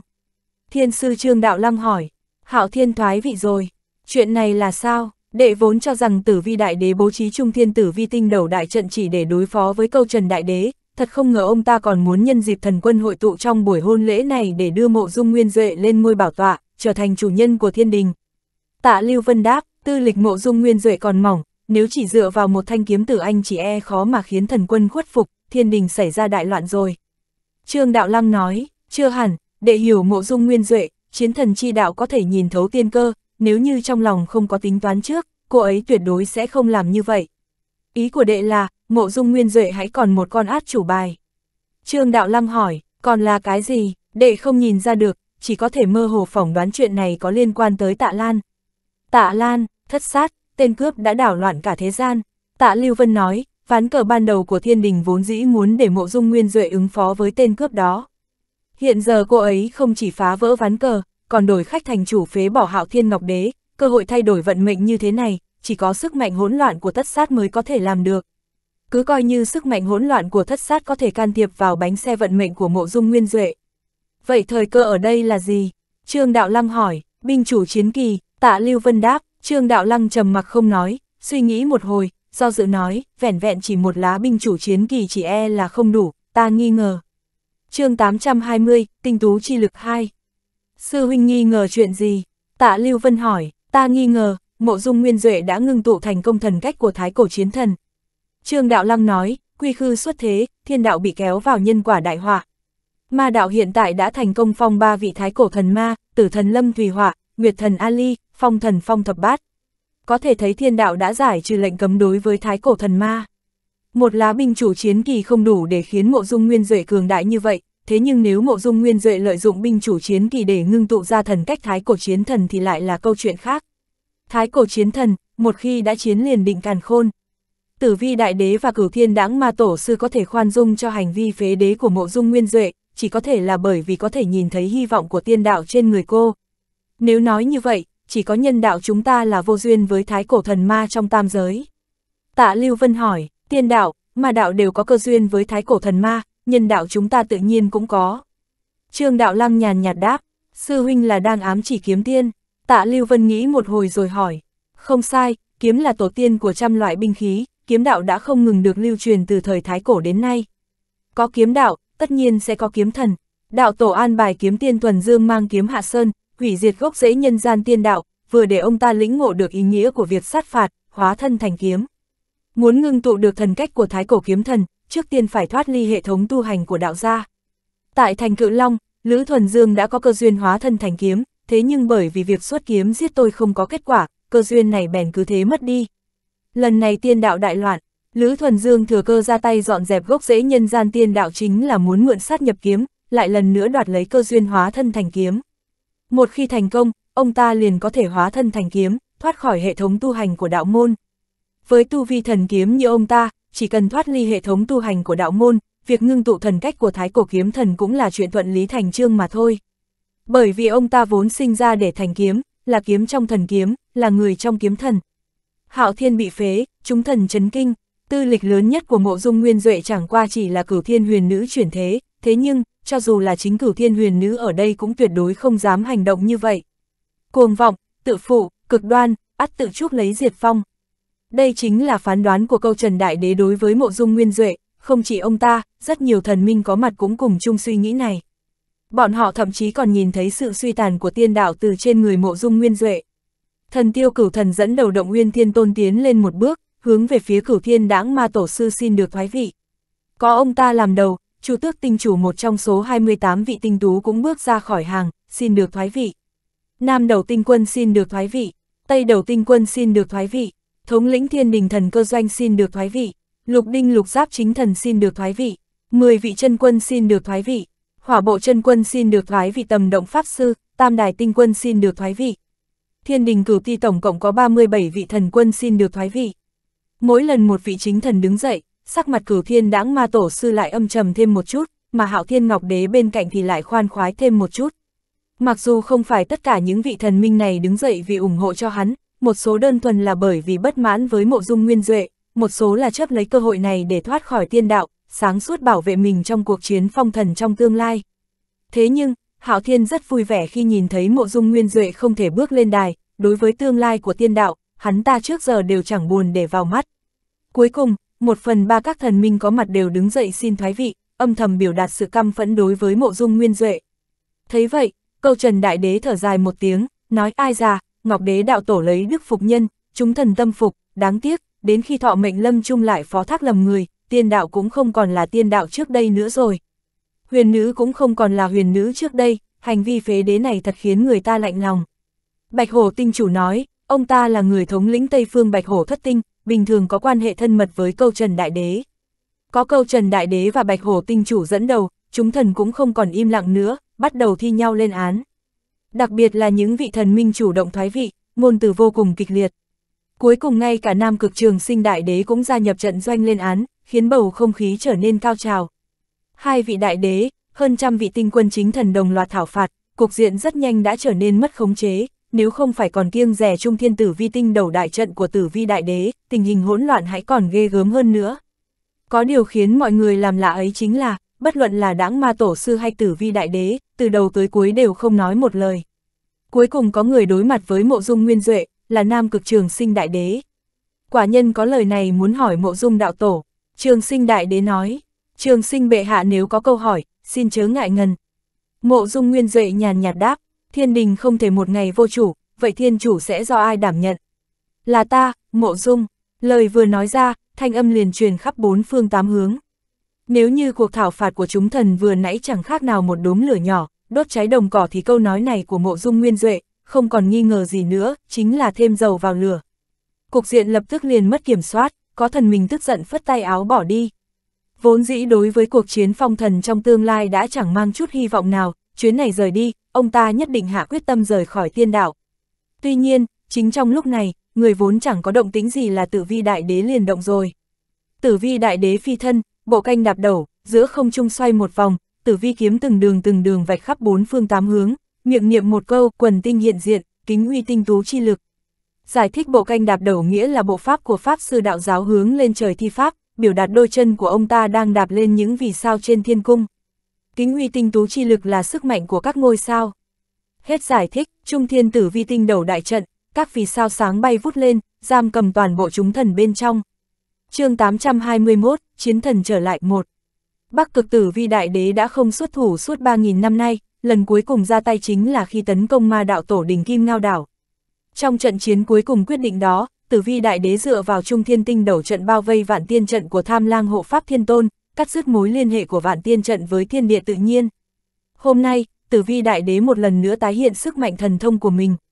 Tử vi tinh đầu đại trận, tinh quang rực rỡ, sức mạnh vô tận của tinh tú chi lực đã khóa chặt nơi này. Thiên tôn chúng thần ở đây nhiều như vậy, muốn phá trận cũng không phải chuyện gì khó. Thậm chí, một mình câu trần đại đế triệu hoán thương huyền thiên cũng đủ để xé rách thế trận. Thế nhưng, chẳng có ai làm như vậy cả. Bởi vì Trung Thiên Tử Vi Tinh đầu đại trận biểu thị thái độ của Tử Vi Đại Đế, phá trận chẳng khác nào muốn đánh vào mặt Tử Vi Đại Đế. Muốn làm như vậy cần phải có dũng khí thật lớn, ngay cả người luôn bất hòa với Tử Vi Đại Đế là Trường Sinh Đại Đế cũng chẳng xuất thủ. Mắt thấy Tử Vi Đại Đế tế xuất quần tinh chi lực, trong lòng câu Trần Đại Đế liền nảy sinh một cảm giác không hay, thế nhưng không đến nỗi lo lắng quá mức. Giải thích quần tinh chi lực là sức mạnh tinh tú tụ hội. Hết giải thích, ông ta có thể bùng nổ sức mạnh đạo tổ cường đại nhất, hoàn toàn tự tin khi đối đầu với tử vi đại đế. Tử vi đại đế đây là có ý gì? Trường sinh đại đế dùng thần niệm truyền âm, hỏi. Không sao cả, tử vi đại đế thọ nguyên không còn nhiều, ông ta tuyệt không thể ra tay với chúng thần, muốn thí thần không chỉ cần thực lực mà còn cần có công đức. Tử vi là chủ tinh, thân mang công đức lớn lao, nhất định không dám lạm sát. Đợt lát nữa ta sẽ chấn trụ tử vi, người dẫn dắt chúng thần phá trận. Câu Trần Đại Đế nói, giải thích chủ tinh là chủ của các vì sao, khác với tinh chủ chỉ là chủ nhân của một ngôi sao mà thôi. Hết giải thích, lẽ nào hôm nay phải đoạn tuyệt với tiên đạo hay sao? Ha ha, tiên đạo đã mất lòng dân, hiện giờ không phản, còn đợi đến bao giờ? Câu Trần cười lạnh nói, ông ta nhìn không rõ thế cuộc này, hiện giờ số lượng chúng thần tham gia lên án mộ dung đã lên tới 3 phần, còn có 3 phần thì vẫn duy trì thái độ trung lập. Đông cực thanh hoa đại đế từ đầu đến giờ chưa nói lời nào, hiển nhiên không có ý định tham gia màn tranh chấp này. 28 vị tinh tú có hai vị phản đối, ngũ đầu tinh quân cũng chia làm hai phe, thần tiêu cửu thần còn là người đầu tiên biểu đạt sự bất mãn đối với mộ dung nguyên duệ. Ngay cả đại thống lĩnh của thần cơ doanh vốn không lệ thuộc cũng đứng dậy phản đối mộ dung nguyên duệ. Các vị quân sư chính thần như lục đinh lục giáp cũng có tâm rời bỏ. Có thể thấy mộ dung nguyên duệ tại binh bộ cũng không được lòng quân. Khí số của tiên đạo long tộc bị ông ta lấy đi một phần, trong cự long chi thành, hai vị long vương chiến tử, chiến lực của long tộc đã giảm đi rất nhiều. Côn lôn tiên đạo tổ đình phải đề phòng nhân đạo tập kích, không thể vội vàng tiếp viện cuộc chiến tại thiên đình. Tính toán như vậy, tiên đạo đích thực là hết đường cứu vãn. Nếu chỉ nhìn tình hình hiện tại thì chưa thể thấy rõ sự thắng bại. Chân chính khiến câu Trần Đại Đế hạ quyết tâm là lời hứa của nữ oa nương nương. Một khi câu Trần khai trận, nữ oa sẽ đích thân tới tiếp viện. Thực lực của nữ oa người khác không biết rõ, mà câu Trần càng rõ ràng hơn ai hết. Ngoài sự hỗ trợ của oa Hoàng Cung, Tây cực câu Trần Cung cũng có trăm vạn binh lính. Lại thêm binh lực do Nam cực trường sinh đại đế thống lĩnh, câu Trần Đại Đế thừa đủ tự tin đem tiên đạo một đường giết tới núi Côn Lôn. Được, người đối phó tử vi, ta đây cuốn lấy cửu thiên đáng ma tổ sư, phá trận xong lại nói. Trường sinh đại đế cuối cùng bị câu trần thuyết phục, bèn hạ quyết định. Thương nghị xong xuôi với trường sinh đại đế, câu trần đại đế hăng hái bước ra, uy áp của đạo tổ thần niệm bắt đầu được phóng thích. Đạo tổ thần niệm cường đại không gì sánh được, khiến cho pháp trận chập chờn, tinh tú dao động. Câu trần vừa ra tay, chúng thần thi nhau bừng tỉnh, lập tức sắp xếp đủ loại đội hình. Có đội áp sát câu trần đại đế, có đội lại tiến tới chỗ trường sinh đại đế, có đội hướng về cửu thiên đáng ma tổ sư, thanh hoa đại đế, hoặc là trận doanh của bắc cực tử vi đại đế. Chúng thần hôm nay đến đây chỉ để tham gia hôn lễ, rất nhiều thần binh pháp bảo đều không mang theo bên người, lúc này không tránh khỏi có chút tiếc hận thế nhưng, họ không chút sợ hãi, bắt đầu khai trận. Tiên đạo chấp trường thiên đình đã quá lâu, giờ cũng là lúc để chúng thần được tự do rồi. Quan trọng nhất là, lúc này nếu như tách khỏi tiên đạo sẽ không bị kéo vào cuộc chiến phong thần vốn dĩ chẳng nhìn thấy chút hy vọng nào. Bởi vì chúng thần cũng đã phát giác ra tâm ý của thiên đạo, biết được thiên đạo đối với việc kết thúc bàn cờ này đã có tính toán. Nếu quả thực như thế, vậy thì, mức độ tàn khốc của cuộc chiến phong thần so với hoàng hôn của chư thần năm đó cũng chẳng hề kém cạnh. Giải thích hoàng hôn của chư thần là ngày tận thế trong thần thoại Bắc Âu. Đây là một chuỗi các sự kiện đen tối trong tương lai dẫn đến một trận chiến lớn sự kết thúc của vũ trụ và cái chết của nhiều vị thần trong thần thoại Bắc Âu. Hết giải thích, chương 822, Chiến thần trở lại 2. Đây chính là nguyên nhân tại sao lại có nhiều người đứng dậy phản đối mộ dung nguyên duệ như thế. Thiên tôn khó chứng, thần vị khó phong, con sâu cái kiến hãy còn tiếc mạng, huống chi là thần. Lúc này mộ dung nguyên duệ chỉ có một mình, phượng quan hà bí đã mất đi quang hoàn, lộ ra bóng lưng cực kỳ tịch mịch. Trận đấu vô cùng căng thẳng, ngay cả tử vi đại đế sắc mặt vạn năm chẳng đổi lúc này đây cũng lộ ra chút nghiêm trọng, mà mộ dung nguyên duệ thế nhưng lại rất điềm tĩnh. Cô thong thả xoay người, thần niệm quét qua bốn phương tám hướng. Cuối cùng, cô thu hồi lại thần niệm của mình, khai mở huyệt thần đình, triệu hoán kiếm tử anh. Tử anh vừa xuất hiện, chúng thần liền giật mình. Lẽ nào mộ dung nguyên duệ tính toán dùng thanh kiếm này để lập uy cho mình? Phong hồn của thượng cổ chi thần là con át chủ bài có sức mạnh cường đại nhất của tiên đạo. Tiên đạo yếu ớt vốn chính là dựa vào thanh kiếm này mới có thể miễn cưỡng ngang vai ngang vế với nhân đạo. Nếu mộ dung nguyên duệ sử dụng kiếm tử anh, vậy thì không nghi ngờ gì nữa, đây chính là đem toàn bộ tương lai của tiên đạo chôn vùi trong tay cô ta. Nhìn thấy mộ dung nguyên duệ xuất ra kiếm tử anh, câu trần đại đế liền nở một nụ cười mỉa mai. Ông ta chẳng chút e rè thanh kiếm này của mộ dung nguyên duệ, thậm chí còn tha thiết mong đợi cô một hơi đem toàn bộ vong hồn thượng cổ chi thần giấu trong thanh kiếm triệu hoán ra. Cứ coi như hôm nay cô ta có thể đại sát bốn phương, vậy sau ngày hôm nay thì sao chứ? Trung thiên tử vi tinh đầu đại trận không đủ để vây khốn chúng thần, mà vong hồn của thượng cổ chi thần trong kiếm tử anh cũng không có chiến lực hủy diệt chúng thần. Kiếm tử anh là đại sát khí, thế nhưng không phải dùng ở nơi này, cũng không phải dùng như thế này. Ta biết, trong số các vị rất nhiều người muốn chất vấn ta, chất vấn tiên đạo. Các vị không nhìn thấy hy vọng trên người ta, đối với cuộc chiến phong thần trong tương lai cũng sợ sệt. Chuyện này không trách các vị, trước khi chứng minh thực lực của mình, ta muốn cho các vị cơ hội lựa chọn lần cuối. Những người nguyện ý tận trung tận hiến với tiên đạo, chiến đội tập hợp. Mộ dung nguyên duệ nói xong, hiện trường một mảnh tịch mịch. Đáng tiếc là, mặc dù kiếm tử anh trong tay cô đã kích động nỗi sợ hãi trong lòng chúng thần, thế nhưng cảnh tượng mà cô hy vọng lại chẳng xuất hiện. Chúng thần trầm mặc, trầm mặc bản thân nó đã là một loại thái độ. Nhìn thấy như vậy, thần sắc mộ dung nguyên duệ lộ vẻ phức tạp. Có bi thương, có thương hại, có đồng tình. Được rồi, nếu như các vị đã quyết định lựa chọn, vậy thì hãy để ta đưa ra kết thúc cho mọi việc đã phát sinh hôm nay. Nói xong câu này, mộ dung nguyên duệ chậm rãi dương kiếm tử anh trong tay lên. Chúng thần đều cho rằng cô muốn triệu hoán vong hồn thượng cổ chi thần tham chiến, vẻ mặt liền giống như lâm đại địch. Thế nhưng vẫn không có người nào động thủ, bởi vì câu Trần Đại Đế sẽ ra tay, mà trường sinh Đại Đế cũng đang đợi. Bọn họ đang đợi mộ dung nguyên duệ triệu hoán vong hồn thượng cổ chi thần, sau đó mới hành động, bởi vì họ hy vọng cô làm như vậy. Mộ dung nguyên duệ dương kiếm, kiếm tử anh chỉ về phía đông, miệng niệm một câu, phụng mệnh của ta, ất mộc phân thần quay về. Niệm xong, ất mộc phân thần một thân áo xanh từ ngoại giới xuyên qua trận mạc, liền tới nơi này. Tiếp đó, mộ dung nguyên duệ dương kiếm chỉ về phía nam, phụng mệnh của ta, ly hỏa phân thần quay về. Phụng mệnh của ta, quý thủy phân thần quay về. Phụng mệnh của ta, canh kim phân thần quay về. Tứ đại phân thần đều đã tới nơi này, chia làm bốn phương, mộ dung nguyên duệ đứng ở trung tâm. Tiếp đó, mộ dung nguyên duệ nhắm chặt mắt, bắt đầu điên cuồng tăng cường uy lực thần niệm của bản thân. Bắt đầu từ con số 0, thông linh, chân khí, nguyên thần, huyền quan, hợp đạo, thiên tôn. Không chỉ thần niệm của cô điên cuồng gia tăng uy áp, bốn vị phân thần do cô triệu tới cũng như vậy. Thần niệm đã đạt đến cảnh giới thiên tôn song vẫn không ngừng tăng lên, từ thiên tôn lên tới trí cường thiên tôn, lại từ trí cường thiên tôn đạt tới đỉnh phong thiên tôn. Lúc này, uy áp của thần niệm vẫn không ngừng dừng lại. Ngay khi chúng thần cho rằng mộ dung nguyên duệ sẽ gia tăng uy áp của thần niệm lên tới cấp bậc đạo tổ, khí tức thần niệm của cô đột nhiên thay đổi. Một cỗ uy áp thần niệm to lớn khó lường hoàn toàn mới đã thay thế triệt để thần thông chi lực đạo môn của cô. Tiếp đó, mộ dung nguyên duệ một thân hào quang rực rỡ. Kim quang chói lòa, khiến người khác không thể nhìn gần, ngay cả câu trần đại đế cũng nhịn không được mà nheo mắt lại. Tứ đại phân thần xoay tròn xung quanh mộ dung nguyên duệ, sau đó lần lượt chìm vào trong kim quang. Đợi tới khi bốn vị phân thần đã hoàn toàn dung hợp với mộ dung nguyên duệ, kim quang một lần nữa lại sáng vụt lên. Kim quang chói lòa, làm lu mờ cả tinh tú, ánh sáng ấy rực rỡ trong chốc lát, sau đó liền chìm vào trong thân thể mộ dung nguyên duệ. Đợi tới khi kim quang được thu hết lại, hồng trang, phượng quan hà bí trên người mộ dung nguyên duệ đều biến mất, kim quang vô tận đã khoác lên người cô hoàng kim chiến giáp.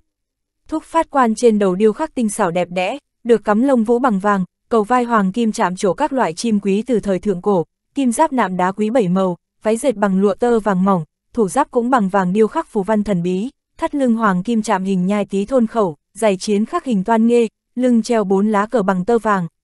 Ngay cả kiếm tử anh trong tay cô cũng được nhuộm một tầng sáng vàng. Cuối cùng, mộ dung nguyên duệ vươn tay vuốt mặt một cái, một chiếc mặt nạ hoàng kim đã che đi dung nhan tuyệt diễm, chỉ lộ ra đôi mắt nhắm chặt. Lúc này, chúng thần đều đã bị mộ dung nguyên duệ làm cho kinh ngạc tột độ, họ không biết chuyện gì đã xảy ra với mộ dung nguyên duệ, cũng không biết cỗ uy áp thần niệm không thuộc về hệ thống tu hành của đạo môn này là như thế nào. Uy áp của cỗ thần niệm này mặc dù không phải vô cùng cường đại, cơ hồ còn chưa đạt tới cảnh giới đạo tổ, thế nhưng lại có thể đem đến cho người khác một áp lực xưa nay chưa từng có. Tử vi đại đế thở phào nhẹ nhõm, cửu thiên đãng ma tổ sư lau mồ hôi trên trán. Với cảnh giới tu vi của cửu thiên đãng ma tổ sư đương nhiên sẽ không toát mồ hôi, thế nhưng ông ta vẫn muốn lau, bởi vì chỉ có hành động lau mồ hôi như thế này mới có thể biểu đạt tâm trạng ông ta bây giờ. Chúng thần trong thiên đình đều dưới thiên đạo, thế nên bọn họ mới không nhận ra khí thức của thần niệm trên người mộ dung nguyên duệ. Thế nhưng, điều này không có nghĩa là tất cả mọi người đều không biết. Tứ ngự biết, cửu thiên đãng ma tổ sư cũng biết. Giải thích tứ ngự bao gồm tử vi đại đế, trường sinh đại đế, câu trần đại đế, hoàng thiên hậu thổ. Hết giải thích, bọn họ thân ở ngôi cao, có tư cách tiếp xúc với những thứ mà những thần minh bình thường không thể tiếp xúc, ví dụ như thái cổ thần ma ký. Giải thích thái cổ thần ma ký là bút ký ghi chép lại các vị thần ma từ thời thượng cổ. Hết giải thích, thiên đạo thế nhưng cũng không xóa bỏ sạch sẽ vết tích của thái cổ thần ma, dù sao thì thái cổ thần ma cũng đại diện cho chiến tích của thiên đạo. Vì vậy mà thái cổ thần ma ký cứ như vậy mà âm thầm lưu truyền lại. Pháp tướng mà mộ dung nguyên duệ bày ra lúc này chính là pháp tướng của một vị mà thái cổ thần ma ký đã ghi chép lại. Chiến tất thắng, công tất đạt, ngô nãi chiến thần. chương 823, Tử Kim Chiến Giáp 1 Thái cổ chiến thần, cái tên này vừa vang lên trong lòng chư thần liền giống như sấm sét giáng xuống. Thái cổ chiến thần, vì chiến mà sinh, mệnh chủ sát phạt chinh chiến, chiến tất thắng, công tất đạt, đã chiến liền định càn khôn. Thái cổ tam giới rất nhiều thần ma, thế nhưng có thể sánh vai cùng với chiến thần lại chẳng được mấy người. Giống như thiên đình ngày nay, thái cổ thần ma cũng có phả hệ phức tạp, không phải thần ma nào cũng có tư cách đối địch với thiên đạo, những người bình thường chỉ trong chớp mắt liền bị thiên đạo hóa thành cho bụi. Thần minh có tư cách đối địch với thiên đạo, chiến lực của mỗi người đều đã vượt qua cấp bậc đạo tổ. Uy năng vô tận, sở hữu sức mạnh tối thượng của hỗn độn. Mà người có tư cách khiến thiên đạo bị thương tổn, quả thực là đã ít nay còn ít hơn, mỗi vị đều uy chấn tinh hà, là sự tồn tại trói mắt còn mãi muôn đời. Ví như thái cổ minh giới tử thần, thái cổ minh giới chiến thần, phong nguyệt song ma, thái cổ kiếm thần, thái cổ lôi thần, thái cổ huyễn ma, thái cổ huyết ma. Ngoại trừ mấy vị đại năng, thần ma chí tôn nêu trên, thái cổ tam giới hãy còn có sự tồn tại của ba vị thần vương. Lần lượt là thái cổ thần vương, thái cổ ma vương, thái cổ minh vương. Ba vị thần vương thống trị ba loại thái cổ kiếm đạo. Mỗi vị đều sở hữu thực lực đủ để đơn độc giao chiến với thiên đạo. Đáng tiếc là, thiên đạo không chết không diệt, mà thọ nguyên của thần vương lại có giới hạn. Trong suốt vô số ngàn vạn năm, các vị thần vương đã nối tiếp nhau ngã vào tay thiên đạo. Thần vương ngã xuống, điều này đã chứng minh rằng nếu chỉ đơn độc dựa vào một loại kiếm đạo sẽ không cách nào đánh bại thiên đạo. Muốn thắng thiên đạo, nhất định phải ba kiếm hợp một. Vì vậy sau khi ma kiếm của ma đạo tổ sư đã viên mãn bèn thử tu luyện thần kiếm và quỷ kiếm. Đáng tiếc là, thiên đạo đã không cho ông ấy cơ hội này. Thiên đạo muốn dựa vào bàn cờ này để suy diễn huyền cơ vận mệnh, nếu như ma đạo tổ sư nhảy ra khỏi bàn cờ ấy, vậy thì toàn bộ mưu đồ của ông ta đều trở nên vô nghĩa. Ma đạo chỉ dựa vào một mình thái cổ minh giới tử thần lâm thủy hỏa khai cuộc liền có thể phát triển tới ngày hôm nay, lấy quy khư làm tổ đình, tại quan ngại diệt giã tiên, hai lần đánh bại âm sơn pháp mạch, một trận trên núi Hạ Lan liền khiến cho âm sơn lão tổ hình thần hủy diệt. Mặc dù nói đây là công sức sát phá lang tam phương tứ chính kết hợp mà thành, thế nhưng ai mà không biết đây tất cả đều là dựa vào phá quân lâm thủy hỏa của ma đạo. Giải thích tam phương tứ chính là tên gọi được sử dụng để định vị phương hướng của các cung vị trong tử vi đầu số, có nghĩa là ba người sát phá lang khắp nơi cùng kết hợp. Hết giải thích, nếu như không có thân thể bất tử của tử thần, ma đạo đã sớm bị ngạo hàn đánh bại trong trận chiến với giã tiên rồi. Bởi vậy, thời khắc mà mộ dung nguyên duệ tuyên bố bản thân mình chính là thái cổ chiến thần, chúng thần lập tức xa vào một mảnh tịch mịch. Thần tiêu cửu thần bắt đầu hối hận, là thần minh đầu tiên đứng dậy phê phán mộ dung nguyên duệ, chín người bọn họ khẳng định sẽ bị xử lý đầu tiên. Cái gọi là chiến thần chi đạo là gì? Bạch Khởi Khanh trôn sống 40 vạn quân triệu, nhiễm mẫn sát hồ diệt thạch. Nhất tướng công thành vạn cốt khô, cái gọi là lòng dạ phụ nhân tuyệt không phải đạo của chiến thần. Giải thích, sát hồ diệt thạch nghĩa là tàn sát người hồ, diệt trừ thạch kỳ. Lòng dạ phụ nhân là ý chỉ phụ nữ thường hay mềm lòng. Hết giải thích, trong lúc động nguyên thiên tôn người đứng đầu thần tiêu cửu thần đang hoảng hốt sợ hãi bất an, mộ dung nguyên duệ đã vung kiếm lên chỉ, miệng quát lớn, thần tiêu cửu thân, có dám cùng ta nghênh chiến. Thần tiêu cửu thần, mỗi một người đều có chiến lực thiên tôn. Mộ dung nguyên duệ mặc dù đã hình thành chiến thần chi đạo, thế nhưng xem uy áp thần niệm mà cô phóng thích ra hãy còn chưa tấn thăng tới cảnh giới đạo tổ, cao nhất cùng lắm cũng chỉ là đỉnh phong thiên tôn. Có thể đơn độc khiêu chiến với cửu thần, dưới đạo tổ cũng chỉ có Lữ Thuần Dương là có thể làm được. Bởi vậy, khi mộ dung nguyên duệ đưa ra đề nghị giao đấu, trong lòng động nguyên thiên tôn nảy sinh một niềm hy vọng. Nếu có thể thắng ta, tùy các người rời khỏi. Mộ dung nguyên duệ lần nữa nói, được, chúng ta ứng chiến. Thần tiêu cửu thần tuy thần vị là tinh quân, thế nhưng bọn họ đều dùng lôi pháp để chứng đạo. Dựa vào tinh tú chi lực, hóa thành sức mạnh lôi đình. Việc tạo ra thần tiêu lôi pháp chiếm một chỗ rất lớn trong đạo tàng, là sự lựa chọn tốt nhất của các tiên đạo đệ tử tu hành lôi pháp. Thần tiêu lôi pháp kế thừa sức mạnh sấm sét của cửu thiên tử phủ, có thể diễn hóa thành lôi hải. Chín người kết trận còn có thể biến sự phẫn nộ của lôi đình từ hư hóa thực, dựa vào trận pháp để hình thành nên thần tiêu lôi đình chi kiếm. Giải thích thần tiêu lôi đình chi kiếm là thanh kiếm tên là thần tiêu lôi đình. Hết giải thích, thần tiêu cửu thần mặc dù cảnh giới chỉ là thiên tôn, thế nhưng 9 người kết trận triệu hoán ra thần tiêu lôi đình chi kiếm có thể bùng phát chiến lực cấp bậc đạo tổ chương 824, Tử Kim Chiến Giáp 2 Chỉ là trận pháp này cực kỳ tiêu hao sức mạnh của tinh tú chi lực, mỗi lần xuất kiếm đều phải chút xuống vô số tinh lực, một khi kiếm bị hủy, 9 người đều không thể thoát khỏi kiếp nạn tan thành cho bụi. Bởi vậy, con át chủ bài này vẫn luôn được thần tiêu cửu thần giữ chặt trong tay, ngay cả trong cuộc chiến phong thần 3.000 năm trước cũng không hề được sử dụng. Thế nhưng hôm nay, bọn họ đã không còn lựa chọn nào khác. Mộ dung nguyên duệ thành công trở thành thái cổ chiến thần, chiến thần chi đạo trời sinh đã biết sử dụng ngũ hành lôi, bản thân chính là một cao thủ lôi pháp. Bọn họ muốn dùng lôi pháp để đánh bại mộ dung nguyên duệ chẳng khác nào nằm mơ giữa ban ngày. Nếu đã như vậy thì chỉ còn cách sử dụng con át chủ bài, 9 người kết trận tạo thành thần tiêu lôi đỉnh chi kiếm. Đông Uyên Thiên Tôn Tiên Phong, theo sau là 8 vị đại động Thiên Tôn, Thanh Huyền Thiên Tôn, Lăng Tiêu Thiên Tôn, bước tới trung tâm bảo điện. Kết trận đi, không đợi động Uyên Thiên Tôn mở miệng, mộ dung Nguyên Duệ thờ ơ nói. Lời này vừa dứt, thần tiêu cửu thần lập tức hóa thành thân ảnh, nháy mắt liền kết trận.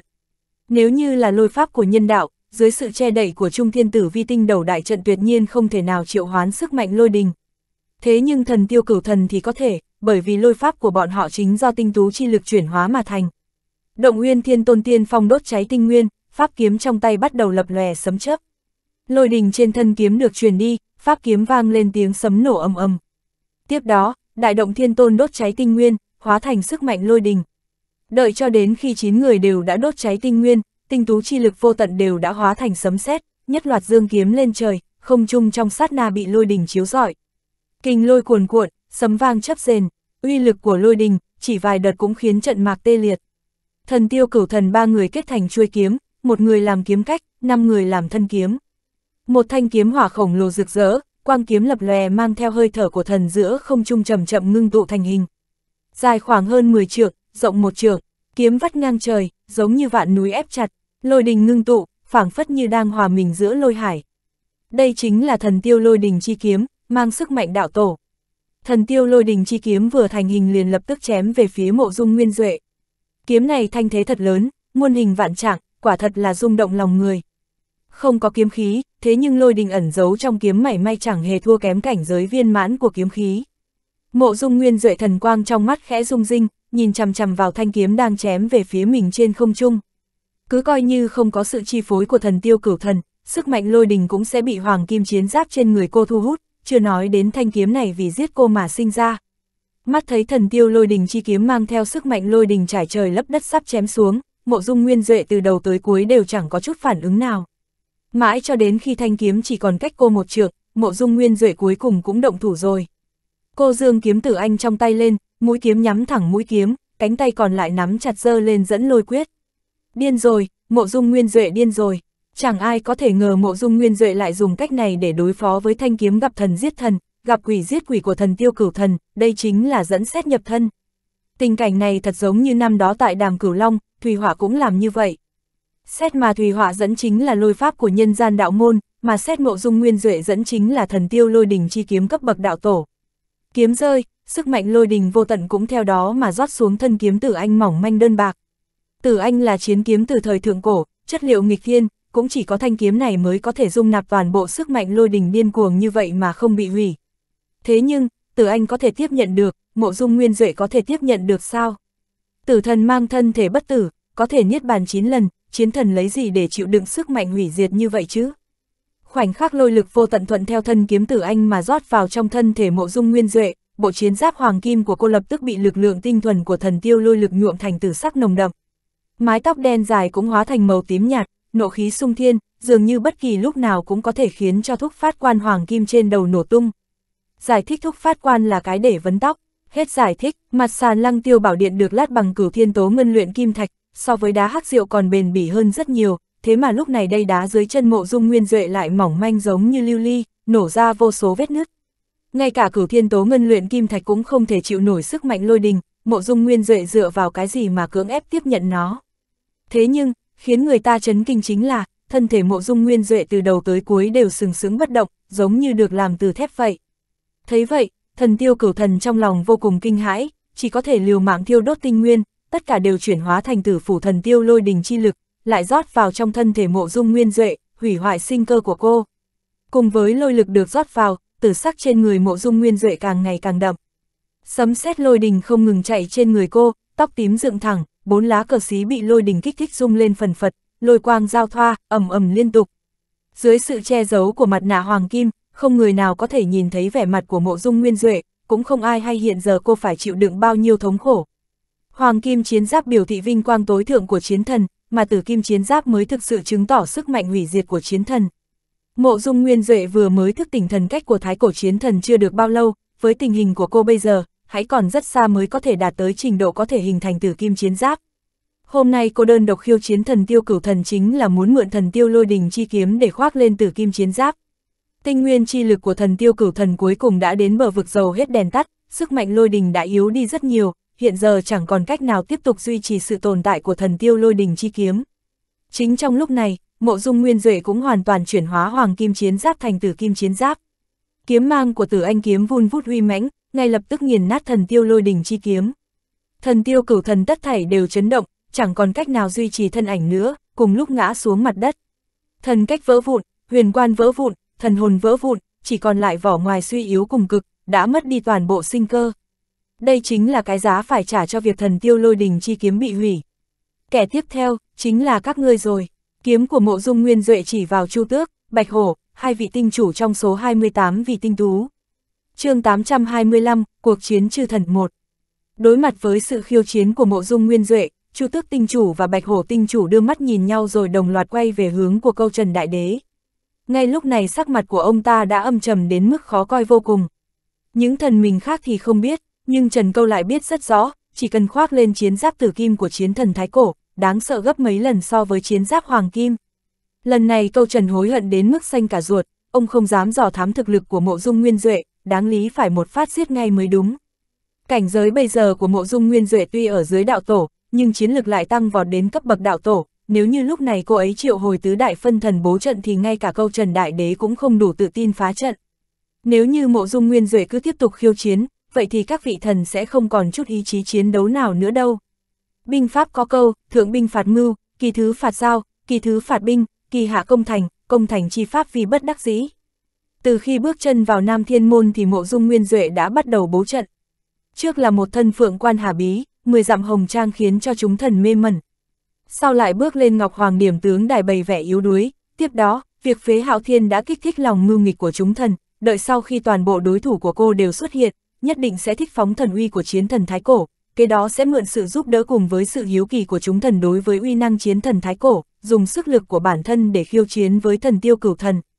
Thần tiêu cửu thần ứng chiến lại chúng phải kế của mộ dung nguyên duệ, không chỉ để cô ấy thành công lập uy, còn mượn sức của lôi đình tử phủ thần tiêu mặc bộ chiến giáo tử kim. Nhìn thấu suốt tiên cơ, tự ý sát phạt, mọi thứ đều nằm trong tầm kiểm soát của chính mình. Đương nhiên, cả một quá trình cũng không thể rời khỏi sự phối hợp toàn lực của tử vi đại đế. Nếu không có đại quân tinh nhuệ của tử vi đại đế ra sức chấn giữ, dùng đại trận trung thiên tử vi tinh đấu che đậy, quả thực mộ dung nguyên duệ không thể thuận lợi đạt được mục đích như thế. Đầu óc câu trần đại đế quay cuồng, đột nhiên nghĩ đến một chuyện. Mộ dung nguyên duệ dám cả gan thẳng tay giết chết thần tiêu cửu thần, chứng minh cô ấy đã nắm rõ thế cục trong lòng bàn tay. Quân tử một là không tham chiến, nhưng đánh thì phải giành chiến thắng, đây cũng là một trong những thế mạnh của đạo chiến thần.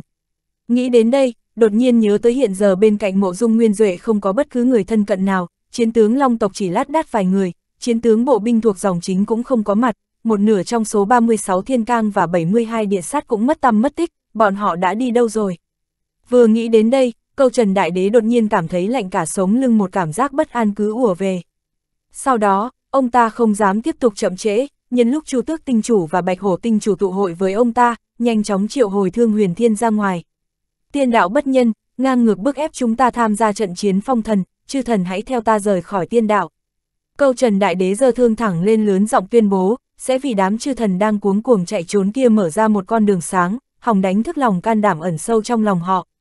Vinh quang của bậc vua chúa phải trả giá bằng mạng sống của dân thường, mộ dung nguyên duệ đã giết chết thần tiêu cửu thần, chư thần tự biết khó lòng thoát khỏi tiên đạo. Câu Trần Đại Đế vừa hành động, tử vi Đại Đế ngay lập tức phi lên nghênh chiến, hai vị thần đế giao đấu kịch liệt, khiến hư không trực tiếp vỡ tan thành từng mảnh.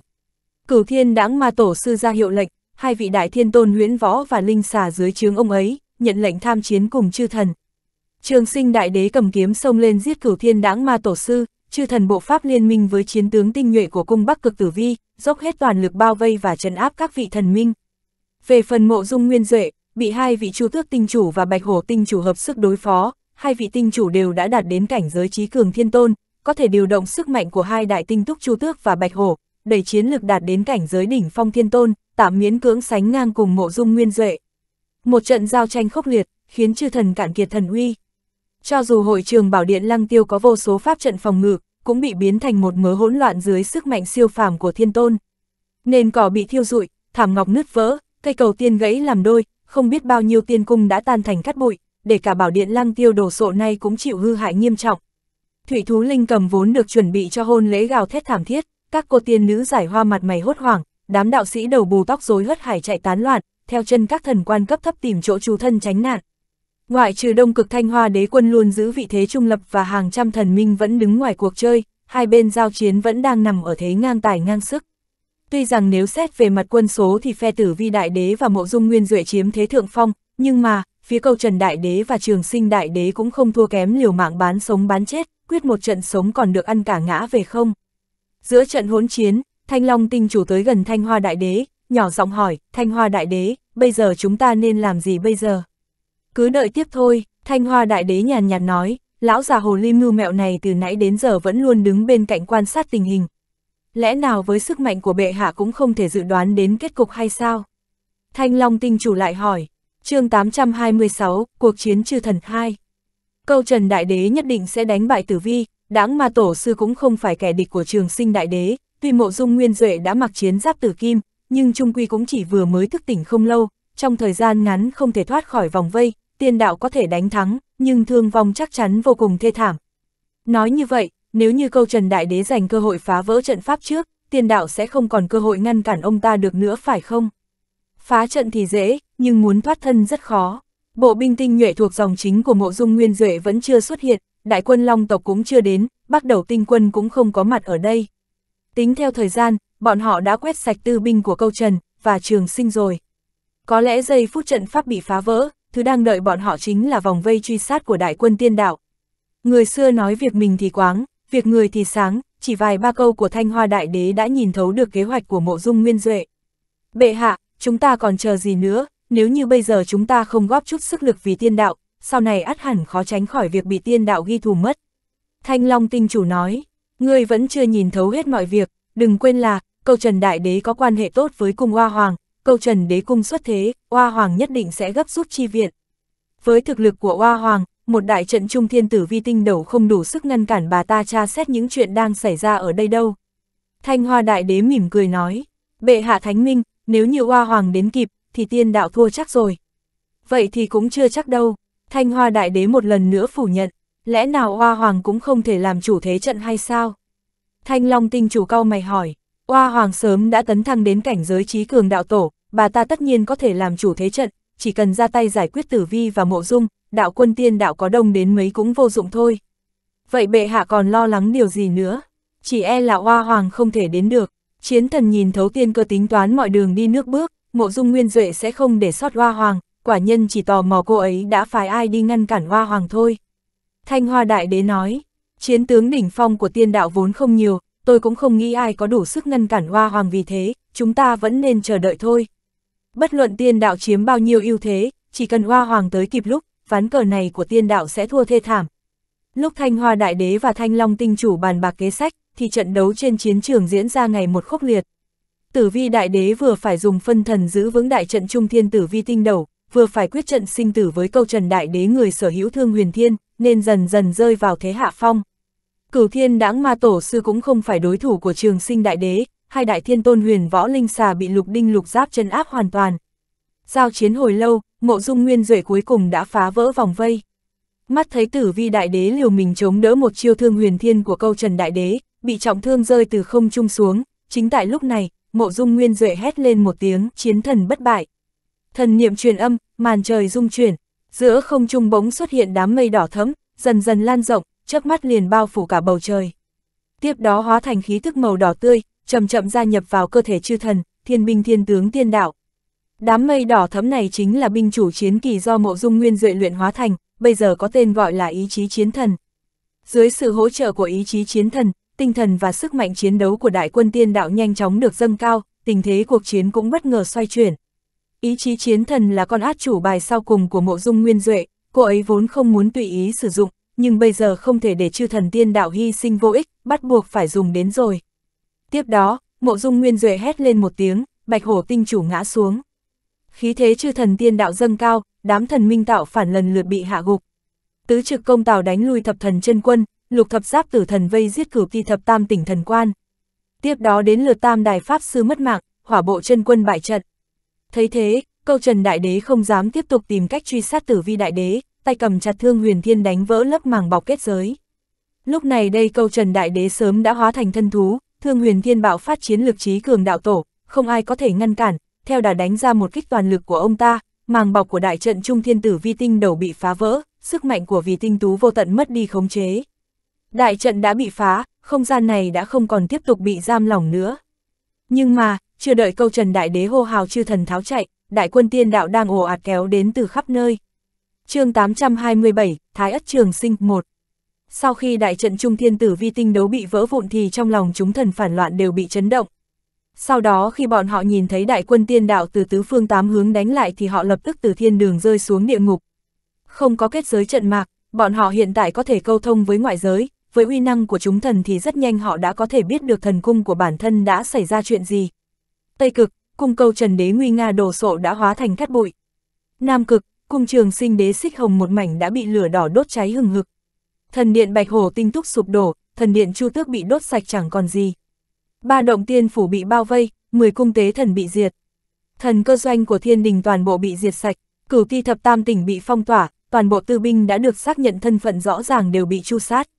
Chúng thần ngã xuống như mưa, máu thần nhuộm đỏ 33 trọng thiên.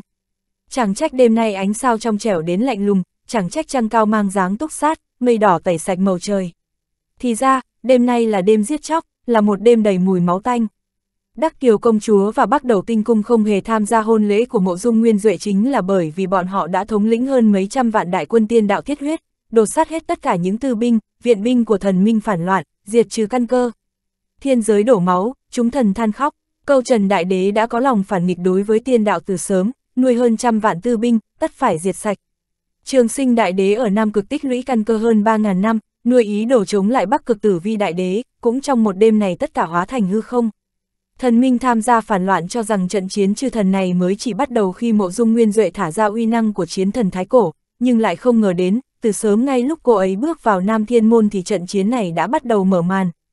Vẻ mặt của câu Trần Đại Đế thay đổi hết lần này đến lần khác, giống như một con sư tử bị tức giận, lệ khí tàn bạo bị kích phát, cầm thương huyền thiên trong tay đại sát tứ phương giống như ma thần Thái Cổ. Trường sinh đại đế thì đương nhiên là trong lòng tràn đầy tuyệt vọng, căn cơ tích lũy 3.000 năm chỉ một chốc lát đã hóa hư không. Cho dù hiện tại hắn đạt được thắng lợi thì đã thế nào? Cũng đã trở thành vị vua không ngai rồi. Từ một ngày trước đó thì mộ dung nguyên duệ đã liên thủ với tử vi đại đế để soạn ra một phần danh sách, tất cả những cái tên thần minh có bên trên, không có ngoại lệ, tất cả đều bị tiên đạo tính kế. Trong đó, cung câu trần đế và cung trường sinh đế được truyền lệnh đổ sát, chảm thảo trừ căn, diệt sạch không chừa.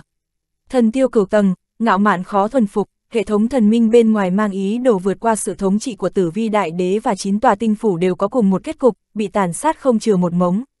Chiêu hàng hai đại tinh túc bạch hổ và tinh túc chu tước, kẻ không phục, giết. Chiêu hàng cung nam đầu tinh, bởi vì cung tây đầu tinh có chứng cứ xác thực đã cấu kết với cung câu trần đế cho nên giết sạch toàn bộ. Cửu ti thập tam tỉnh quản chế tạm thời, đợi đến khi dẹp loạn được chiến cục thì sẽ do pháp bộ của thiên đình, chủ của cửu thiên đáng ma tổ sư xử lý. Tam động pháp sư bị xóa tên, không được đề pháp sư thần vị nữa. Thập thần chân quân, xóa tên, không được đề thập thần thần vị nữa. Thần cơ doanh của thiên đình trực tiếp dung nhập vào binh bộ của mộ dung nguyên duệ quản lý trực tiếp. Trong một đêm này mộ dung nguyên duệ bày ra thủ đoạn ngoan độc 260 vạn phản quân tiên đạo của thiên đình phải đền tội, còn có 100 vạn phản quân bị tiên đạo giam cầm tạm thời.